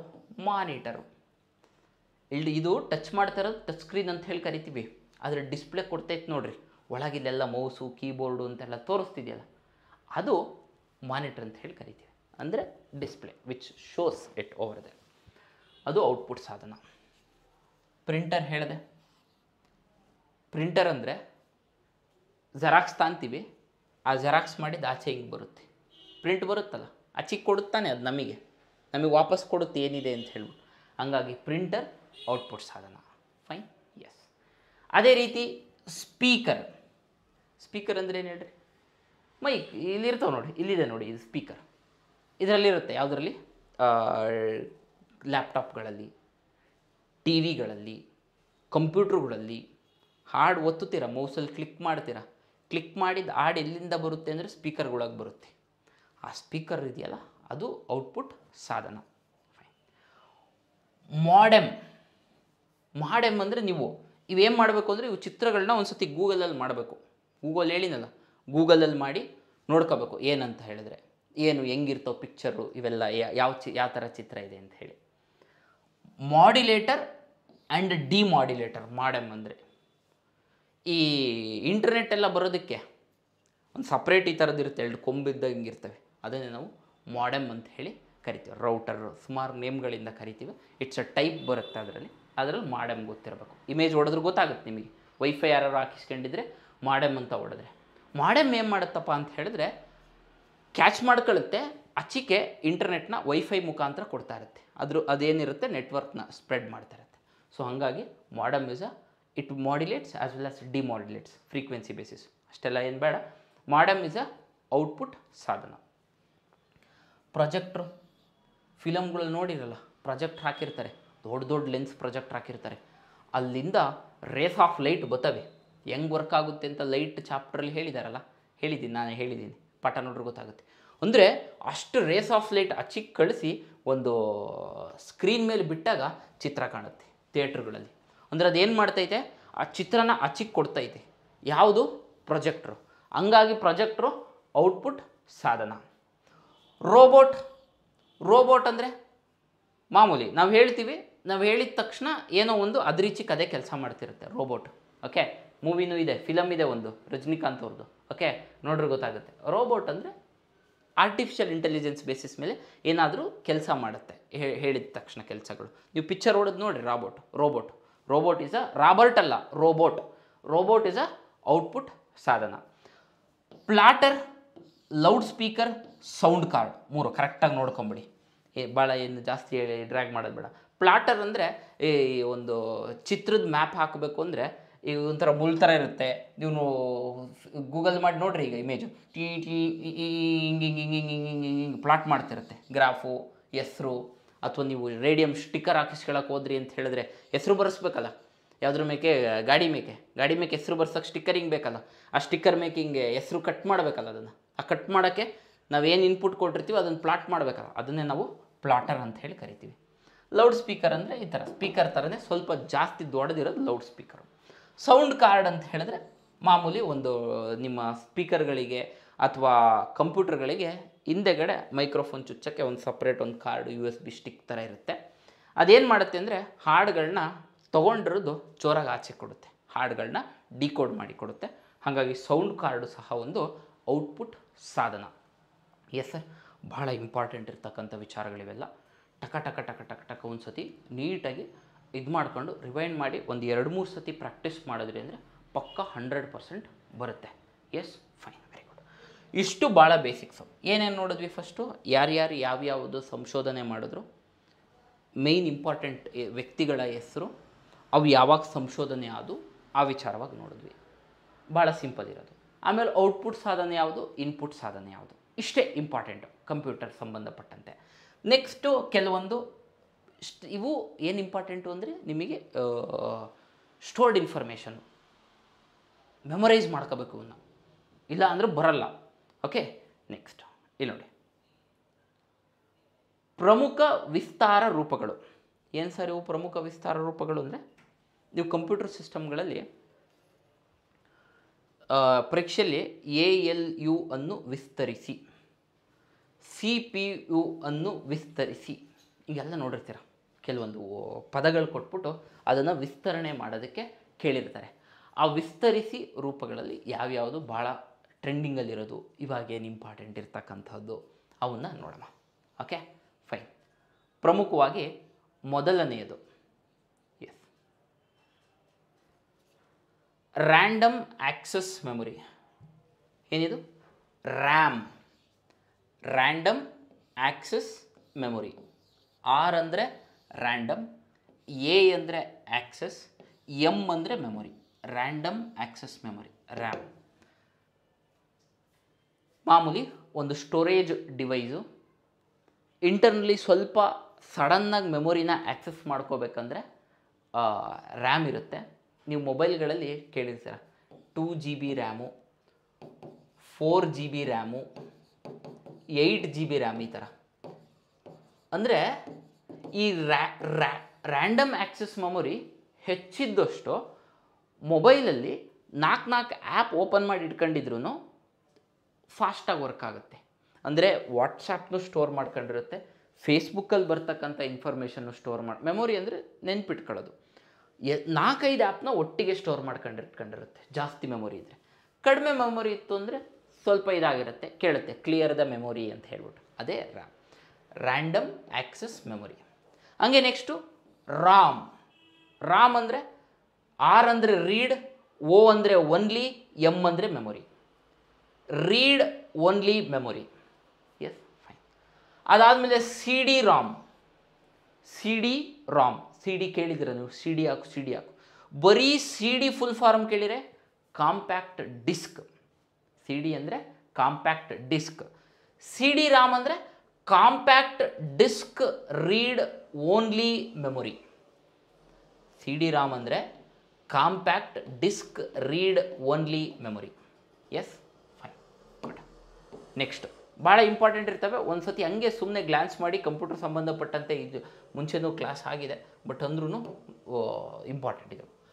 L C D liquid crystal display. ಕೇಳಿದ್ದಾರೆ ಮೊಬೈಲ್ಗಳಲ್ಲಿ? L E D display, L C D display.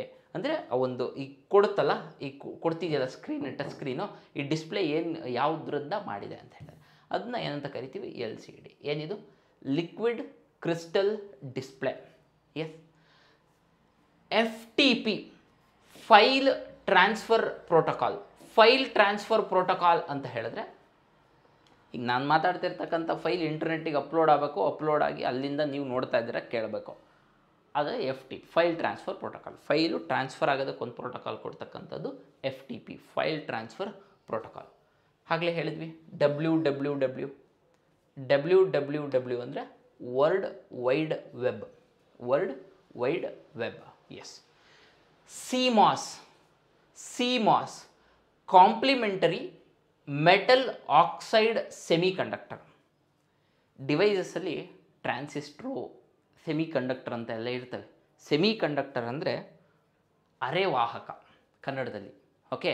ಅರೆವಾಹಕ ಅಂದರೆ ನಿಮ್ಮ ಭೌತಶಾಸ್ತ್ರದಲ್ಲಿ ವಾಹಕ ವಾಹಕ ಮಾಡದೇ ಇರೋದು ಅರೆವಾಹಕ ಅಂತ ಇರುತ್ತೆ. ಅರೆವಾಹಕ ಅಂದರೆ ಸ್ವಲ್ಪ ತಾಪ ಹೆಚ್ಚಿಗೆ ಮಾಡಿದ್ರೆ ಅದು ವಾಹಕವಾಗಿ ಕನ್ವರ್ಟ್ ಆಗುತ್ತೆ. ಅಂದರೆ ಅದರಲ್ಲಿ ಎಲೆಕ್ಟ್ರಿಸಿಟಿನ ಪಾಸ್ ಮಾಡುತ್ತೆ. ಅದನ್ನೇ ನಾವು ಅರೆವಾಹಕ ಆರ್ ಸೆಮಿ ಕಂಡಕ್ಟರ್ ಅಂತ ಹೇಳಿ ಕರಿತೀವಿ.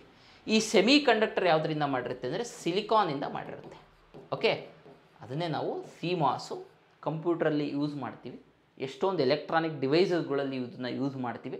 ಟ್ರಾನ್ಸಿಸ್ಟರ್ ಬೇಸಿಸ್ ಮೇಲೆ, ಅದು ಹೀಟ್ ಆದಮೇಲೆ ತನ್ನಲ್ಲಿರ್ತಕ್ಕಂಥ ಶಕ್ತಿನ ಎನರ್ಜಿನ ಎಲೆಕ್ಟ್ರಿಸಿಟಿನ ಟ್ರಾನ್ಸ್ಫರ್ ಮಾಡಲಿ ಅಂತ.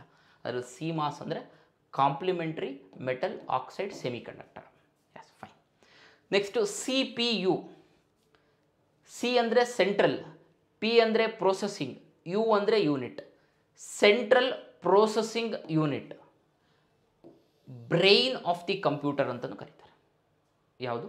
C P U is called as the brain of the computer. C P U ಅಂದರೆ central processing unit. Yes clear ಅದೇ ರೀತಿ H T M L H ಅಂದರೆ ಹೈಪರ್ ಟಿ ಅಂದರೆ ಟೆಕ್ಸ್ಟ್. ಎಂ ಅಂದರೆ ಮಾರ್ಕಪ್, ಎಲ್ ಅಂದರೆ language. Hyper text markup language H T M L ಅಂದರೆ. ಅಂದರೆ ಈಗ world wide web W W ಅಲ್ಲಿ ಲ್ಯಾಂಗ್ವೇಜ್ ಕೊಟ್ಟು ಒಂದು ಡೇಟಾ ಹಾಕ್ಬಿಟ್ಟು ಅದರಲ್ಲಿ ಪಿಕ್ಚರು ಎಲ್ಲ ಬರಂಗೆ ಮಾಡಬೇಕಲ್ಲ, ಅದರಲ್ಲಿ ಒಂದು ವಿಧ ಅದು. ಜಸ್ಟ್ ಲ್ಯಾಂಗ್ವೇಜ್ ನಿಮಗೆ ಗೊತ್ತಿರಲಿ. ಹೆಚ್ ಟಿ ಎಂ ಎಲ್ ಅಂದರೆ hyper text markup language. Next. D V D D means digital versatile disc digital versatile disc ಅಂದರೆ ಅದರಲ್ಲಿ D V D DVD. C D D V D C D ಅಂದರೆ compact disc D V D ಅಂದರೆ digital versatile disc C D first ಇತ್ತು, ಆಮೇಲೆ D V D ಬಂತು. Okay ಇದು ಸಹ ಒಂದು ಇನ್ಫಾರ್ಮೇಷನ್ನ ಸ್ಟೋರ್ ಮಾಡಿಟ್ಕೊಂಡು ಆ ಒಂದು ಸ್ಟೋರೇಜ್ ಡಿವೈಸಸ್ ಆಗಿ ಆ್ಯಕ್ಟ್ ಮಾಡಿ ನಮಗೆ ಕಂಪ್ಯೂಟ್ರಲ್ಲಿ ನೋಡ್ತಕ್ಕಂಥ ಡಿ ವಿ ಡಿ ನೋಡಿದ್ದೀರ? ಫಿ ಸಾಂಗ್ ಹಾಕಿದ್ರೆ ಸಾಂಗ್ ಬರ್ತವೆ. ಈ ಥರ ಒಂದು ಚಿತ್ರ ಇರುತ್ತೆ. ನೀವು ಗೂಗಲ್ ಮಾಡಿದ್ರೆ ಸಿಕ್ಬಿಡುತ್ತೆ ಅದರ ಚಿತ್ರ. ಅದರದ್ದು ಫುಲ್ ಫಾರ್ಮ್ ಏನು ಅಂದರೆ ಡಿಜಿಟಲ್ ವರ್ಸಟೈಲ್ ಡಿಸ್ಕ್ ಎಸ್ ಅದೇ ರೀತಿ L E D L E D ಅಂದರೆ light emitting diode full form L E ಡಿದು L ಅಂದರೆ ಲೈಟ್ ಇ ಅಂದರೆ ಎಮಿಟಿಂಗ್ ಡಿ ಅಂದರೆ ಡಯೋಡ್ ಎಸ್ ಅದೇ ರೀತಿ H D R H D R H ಅಂದರೆ high D ಅಂದರೆ ಡೈನಮಿಕ್ ಆರ್ ಅಂದರೆ range high dynamic range G P S G P S G P S ಹಾಕಳಿ location ಹಾಕಳಿ ಅಂತ ಇರುತ್ತಲ್ಲ, ಅಂದರೆ ಔಟ್ ವರ್ಲ್ಡಲ್ಲಿ ಪೊಸಿಷನ್ ಮಾಡುತ್ತೆ ಅದನ್ನ ಹಾಗಾಗಿ global throughout global P ಅಂದರೆ ಪೊಸಿಷನಿಂಗ್ ಎಸ್ ಅಂದರೆ system global positioning system G P S ಅಂದರೆ yes very good fine PAN PAN PAN permanent account number ಏನು ಸರ್ ಪರ್ಮನೆಂಟ್ ಅಕೌಂಟ್ ನಂಬರ್ ಗೊತ್ತು ಇನ್ಫಾರ್ಮೇಷನ್ ಬ್ಯಾಂಕ್ಗಳಲ್ಲೆಲ್ಲ ಕೊಟ್ಟಿರ್ತೀವಲ್ಲ ನಿಮಗೆ ಈಗ ಎಚ್ ಡಿ ಎಫ್ ಸಿಗೆ ಒಂದು ಅಕೌಂಟ್ ಇರುತ್ತೆ, ಎಸ್ ಬಿ ಐ ಒಂದು ಅಕೌಂಟ್ ಇರುತ್ತೆ ಕೆನರಾಗೆ ಒಂದು ಅಕೌಂಟ್ ಇರುತ್ತೆ, ಎಲ್ಲ ಅಕೌಂಟ್ ಸೇರಿ ಪೂರ್ತಿ ಥ್ರೂಔಟ್ ನಿಮಗೆ ಅಂತ ಒಂದು ಸಪ್ರೇಟಾಗಿ ಒಂದು ಅಕೌಂಟ್ ನಂಬರು ಜನ್ರೇಟ್ ಮಾಡ್ತಾರೆ ಇನ್ಕಮ್ ಟ್ಯಾಕ್ಸ್ ಅವರು ಇನ್ಕಮ್ ಟ್ಯಾಕ್ಸ್ ಫೈಲ್ ಮಾಡೋದಕ್ಕೆ. ಅಂದರೆ ಎಲ್ಲ ಅಕೌಂಟಿನ ಇನ್ಫಾರ್ಮೇಷನ್ ಆ ಒಂದು ಪಾನ್ ನಂಬರಲ್ಲಿ ಗೊತ್ತಾಗ್ತಿರುತ್ತೆ. ನೀವು ಏನು ಲೋನ್ ತಗೊಂಡಿದ್ದೀರಾ, ನೀವು ಎಷ್ಟು ಅಕೌಂಟ್ಸಲ್ಲಿ ಇದು ಮಾಡಿದ್ದೀರಾ ಇನ್ಕಮ್ ಟ್ಯಾಕ್ಸ್ ಎಷ್ಟು ಫೈಲ್ ಮಾಡಿದ್ದೀರಾ, ಆ ರಿಲೇಟೆಡ್ ಆದರೂ ಫುಲ್ ಫಾರ್ಮ್ ಯಾವುದು? ಪ್ಯಾನ್ ಅಂದರೆ ಪರ್ಮನೆಂಟ್ ಪಿ ಅಂದರೆ ಪರ್ಮನೆಂಟ್ ಎ ಅಂದರೆ ಪರ್ಮನೆಂಟಾಗಿ ಅಕೌಂಟ್ ಇರೋದು. ಅಕೌಂಟ್ ನಂಬರ್ ಅಷ್ಟೇ ಸಿಂಪಲ್ ಅದೇ ರೀತಿ ಎ ಟಿ ಎಂ ಸುಮ್ಮನೆ ಎ ಟಿ ಎಂ ಅಂತ ಹೇಳಿದ್ರೆ ಎನಿ ಟೈಮ್ ಮನಿ ಅಂತ ನಿಮಗೆ ಒಂದು ಇದಿರುತ್ತೆ, ಕ, ತಪ್ಪು ಕಲ್ಪನೆ. ಆದರೆ ಎನಿ ಟೈಮ್ ಮನಿ ಅಂತ ಅಲ್ಲ ಎ ಟಿ ಎಂ ಅಂದರೆ automated teller machine A T M ಅಂದರೆ ಆಟೋಮೇಟೆಡ್ ಟೆಲ್ಲಾರ್ ಮೆಷಿನ್ ಅಪ್ಡೇಟ್ ಮಾಡ್ಕೋಬೇಕು. ಎನಿ ಟೈಮ್ ಮನಿ ಅಂತ ಕನ್ಫ್ಯೂಸ್ ಆಗ ಆಮೇಲೆ ಹಾಕಿಬಿಟ್ಟಿರ. ಆಟೋಮೇಟೆಡ್ ಟೆಲ್ಲಾರ್ ಮೆಷಿನ್ ಎ ಅಂದರೆ ಆಟೋಮೇಟೆಡ್ ಟಿ ಅಂದರೆ ಟೆಲ್ಲಾರ್ ಎಂ ಅಂದರೆ ಮಷೀನ್ ಎನಿಯಾಕ್ ಎನಿಯಾಕ್ ಅಂತ ಅಂದರೆ ನೀವೇನ ತಲೆ ಕೆಡಿಸ್ಕೋಬಾರ್ದು. ಎನಿಯಾಕ್ ಅಂದರೆ ಅದೊಂದು ಥರದ ಕಂಪ್ಯೂಟರ್ ಮಾಮೂಲಿ ಅರ್ಪಾನೆಟ್ ಬರುತ್ತಲ್ಲ, ಅದರಲ್ಲಿ ಕೋಡಿಂಗ್ ಇದು ಮಾಡ್ಕೊಳ್ಳೋದಕ್ಕೋಸ್ಕರ ಒಂದು ಸಪ್ರೇಟ್ ಅರ್ಥಮೆಟಿಕ್ ಲಾಜಿಕ್ಕಾಗಿ ಡೆವಲಪ್ ಆಗುತ್ತೆ ಕಂಪ್ಯೂಟ್ರು ಅದ್ರ full form just full form ಮಾತ್ರ ನೆನಪಿರಲಿ. Electronic numerical integrator and computer E ಅಂದರೆ ಎಲೆಕ್ಟ್ರಾನಿಕ್ ಎನ್ ಅಂದರೆ ನ್ಯೂಮರಿಕಲ್ ಐ ಅಂದರೆ ಇಂಟಿಗ್ರೇಟರ್ ಎ ಅಂದರೆ ಅಂಡ್ ಸಿ ಅಂದರೆ ಕಂಪ್ಯೂಟರ್ ಅಷ್ಟೇ electronic numerical integrated and computer integrator and computer yes sir ಕೊಡಿ ನೆಕ್ಸ್ಟು ಇನ್ನೊಂದು ಐದು ಇದ್ದಾವೆ ಸಾಕು, ಬೇಗ. ಆಮೇಲೆ ನೆಕ್ಸ್ಟ್ ನಾಳೆ ನೋಡಮ್ಮ. ಕಂಪ್ಯೂಟ್ರಿಗೆ ಸಂಬಂಧಪಟ್ಟಂತೆ ನಾಳೆ. ಇವಾಗ ಸದ್ಯಕ್ಕೆ ಇಷ್ಟೇನು ಹೇಳಿದ್ದೀನಿ ಅಷ್ಟನ್ನು ಕರೆಕ್ಟಾಗಿ update ಮಾಡ್ಕೊತೀರಿ C E R T C E R T ಅಂದರೆ ಸಿ ಅಂದರೆ ಕಂಪ್ಯೂಟರ್ ಇ ಅಂದರೆ ಎಮರ್ಜೆನ್ಸಿ ಆರ್ ಅಂದರೆ ರೆಸ್ಪಾನ್ಸ್ ಟಿ ಅಂದರೆ ಟೈಮ್ ಇದು throughout world computer emergency response team team ಇದೆ ನೋಡಿ. ಕಂಪ್ಯೂಟ್ರಿಗೆ ಏನಾದ್ರು ಎಮರ್ಜೆನ್ಸಿ ಬಂದರೆ ಟೀಮ್ ಕೊಡೋದೇ ಅಂತ ಅಲ್ಲ. ಕಂಪ್ಯೂಟ್ರ್ ಯೂಸ್ ಮಾಡ್ತಿರೋದು ನೆಟ್ವರ್ಕ್ ಬೇಸಿಸ್ ಮೇಲೆ. ಈ ನೆಟ್ವರ್ಕ್ ಬೇಸಿಸ್ ಮೇಲೆ ಏನಪ್ಪ ಆಗುತ್ತೆ ಅಂದರೆ, ಈ ಹ್ಯಾಕರ್ಗಳು ಅಷ್ಟು ದುಡ್ಡನ್ನು ಹ್ಯಾಕ್ ಮಾಡಿದ್ರು, ಅಥವಾ ನನ್ನ ಕಂಪ್ಯೂಟ್ರನ್ನ ಹ್ಯಾಕ್ ಮಾಡಿ ನನ್ನಲ್ಲಿರ್ತಕ್ಕಂಥ ಡೇಟಾ ತಗೊಂಡ್ರು, ಇವೆಲ್ಲ ಇರ್ತಾವಲ್ಲ. ಸೊ ಸೈಬರ್ ಸೆಕ್ಯೂರಿಟಿ ರಿಲೇಟೆಡ್ ಆಗಿ ಏನಾದರೂ ತೊಂದರೆ ಆಯಿತು ಅಂದರೆ ಸಡನ್ನಾಗಿ ರೆಸ್ಪಾನ್ಸ್ ಮಾಡೋದಕ್ಕೆ ಒಂದು ಟೀಮ್ ಬೇಕು. ಸೊ ಹಾಗಾಗಿ ದಟ್ ದೇ ಮೇಂಟೈನ್ಡ್ ಅದೇ C E R T C E R T ಅಂದರೆ ಕಂಪ್ಯೂಟರ್ ಎಮರ್ಜೆನ್ಸಿ ರೆಸ್ಪಾನ್ಸ್ ಟೀಮ್ ಇಂಡಿಯಾಗೆ ಅದನ್ನು I C E R T ಅಂತ ಮಾಡಿದ್ದಾರೆ. I C E R T Indian computer emergency response team ಇದೆ I C R T just high ಅದು ದೇಶ change ಆದಂಗೆ change ಆದಂಗೆ ಸಿ ಆರ್ ಟಿ ಟೀಮ್ಸಿಗೆ ಅವರು ಅವ್ರದ್ದು ಇದನ್ನು ಹಾಕ್ಕೊಂಡು ಹೋಗ್ತಾರೆ ಅಷ್ಟೇ. U P S U P S U P S U ಅಂದರೆ ಅನ್ಇಂಟರಪ್ಟಬಲ್ ಅನ್ಇಂಟರಪ್ಟಬಲ್ ಅಂದರೆ ತೊಂದರೆ ಕೊಡಲ್ಲ. ನಿನ್ನನ್ನು ಇಂಟರಪ್ಟ್ ಮಾಡಲ್ಲ. ಏನಕ್ಕೆ ಇಂಟರಪ್ಟ್ ಮಾಡಲ್ಲ ಅಂದರೆ power supply uninterruptible power supply ಅಂದರೆ ಈಗ power supply ಬತ್ತೈತೆ.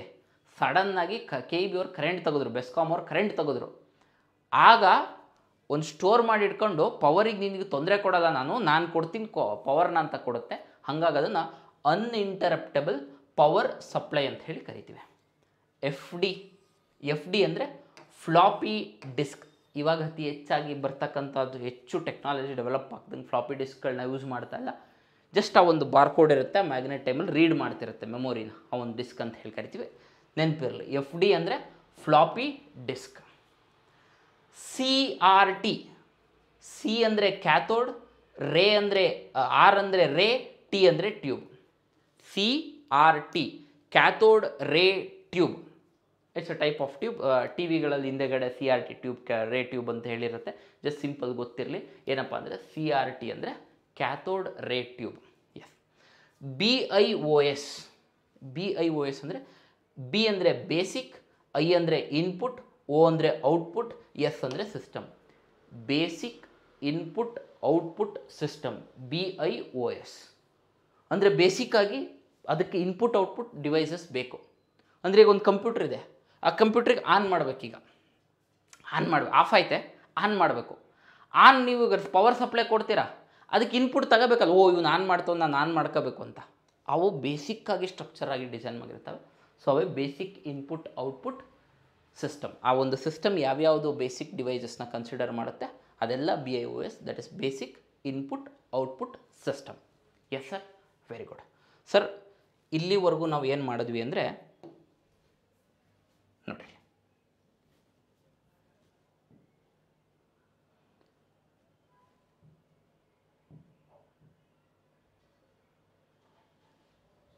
S computer police ಇಲಾಖೆ ಬಗ್ಗೆ ಮಾಹಿತಿ. ಈ ವಿಚಾರವಾಗಿ ನೋಡಿದ್ದೀವಿ ಇದು ಇಲ್ಲಿಗೆ ಮುಗ್ದಿಲ್ಲ ತರಗತಿ. ಇನ್ನೂ ಒಂದು ನಾಲ್ಕು ತರಗತಿ ಆಗ್ತವೆ. ಓಕೆ? ಇದು ಜನರಲ್ ಸ್ಟಡೀಸಿಗೆ ಸಂಬಂಧಪಟ್ಟಂತೆ ಎಂಟನೇ ವಿಡಿಯೋ ಆಗಿರುತ್ತೆ. ಇದರಲ್ಲಿ ನಾನು ಕಂಪ್ಯೂಟರ್ ಸಂಬಂಧಪಟ್ಟಂತೆ ಮಾತಾಡ್ತೀನಿ. Computer related. ಅದೇ ರೀತಿ ವಿಜ್ಞಾನ ಮತ್ತು ತಂತ್ರಜ್ಞಾನ ಇದೆ ನೋಡ್ರಿ ವಿಜ್ಞಾನ ಮತ್ತು ತಂತ್ರಜ್ಞಾನ. ಈ ವಿಜ್ಞಾನ ಮತ್ತು ತಂತ್ರಜ್ಞಾನದಲ್ಲಿ ಫಿಸಿಕ್ಸ್ ರಿಲೇಟೆಡ್ ಭೌತಶಾಸ್ತ್ರದ ರಿಲೇಟೆಡ್ ಆಗಿ ಟಾಪಿಕ್ ಸಹ ನಾನು ಮಾತಾಡ್ತೀನಿ.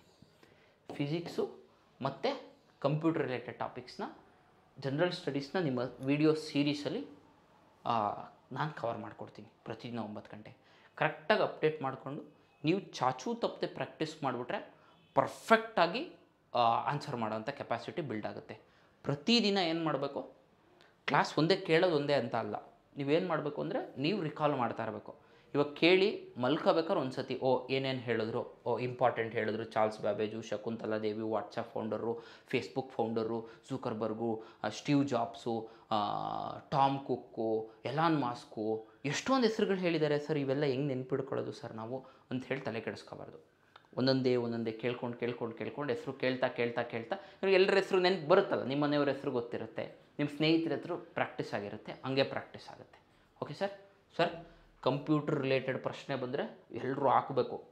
ಕಾನ್ಫಿಡೆನ್ಸ್ ಬರು ಬಿಲ್ಡ್ ಮಾಡ್ಕೋಬೇಕು. ಓಕೆ ಹೆಸರುಗಳಿಗೆ ಭಯ ಪಡಬಾರ್ದು. ಅದೇ ರೀತಿ ವಿಜ್ಞಾನ ಮತ್ತು ಸ ಫಿಸಿಕ್ಸಿಗೆ ಸಂಬಂಧಪಟ್ಟಂತೆ ತರಗತಿಗಳಿರ್ತವೆ. ಓಕೆ ಸರ್ ನಾಳೆ ಸೇಮ್ ಇದ್ರ ರಿಲೇಟೆಡ್ ಆಗಿ ನೆಕ್ಸ್ಟ್ ಪಾರ್ಟ್ ಇನ್ನೊಂಚೂರು ಕಂಟಿನ್ಯೂ ಮಾಡಮ್ಮ. ಸೊ ಇವತ್ತಿಗೆ ಇವ್- ಇಲ್ಲಿಗೆ ಎಂಡ್ ಅಪ್ ಮಾಡಮ್ಮ. ಒನ್ ಅವರ್ ಸಾಕು. Thank you bye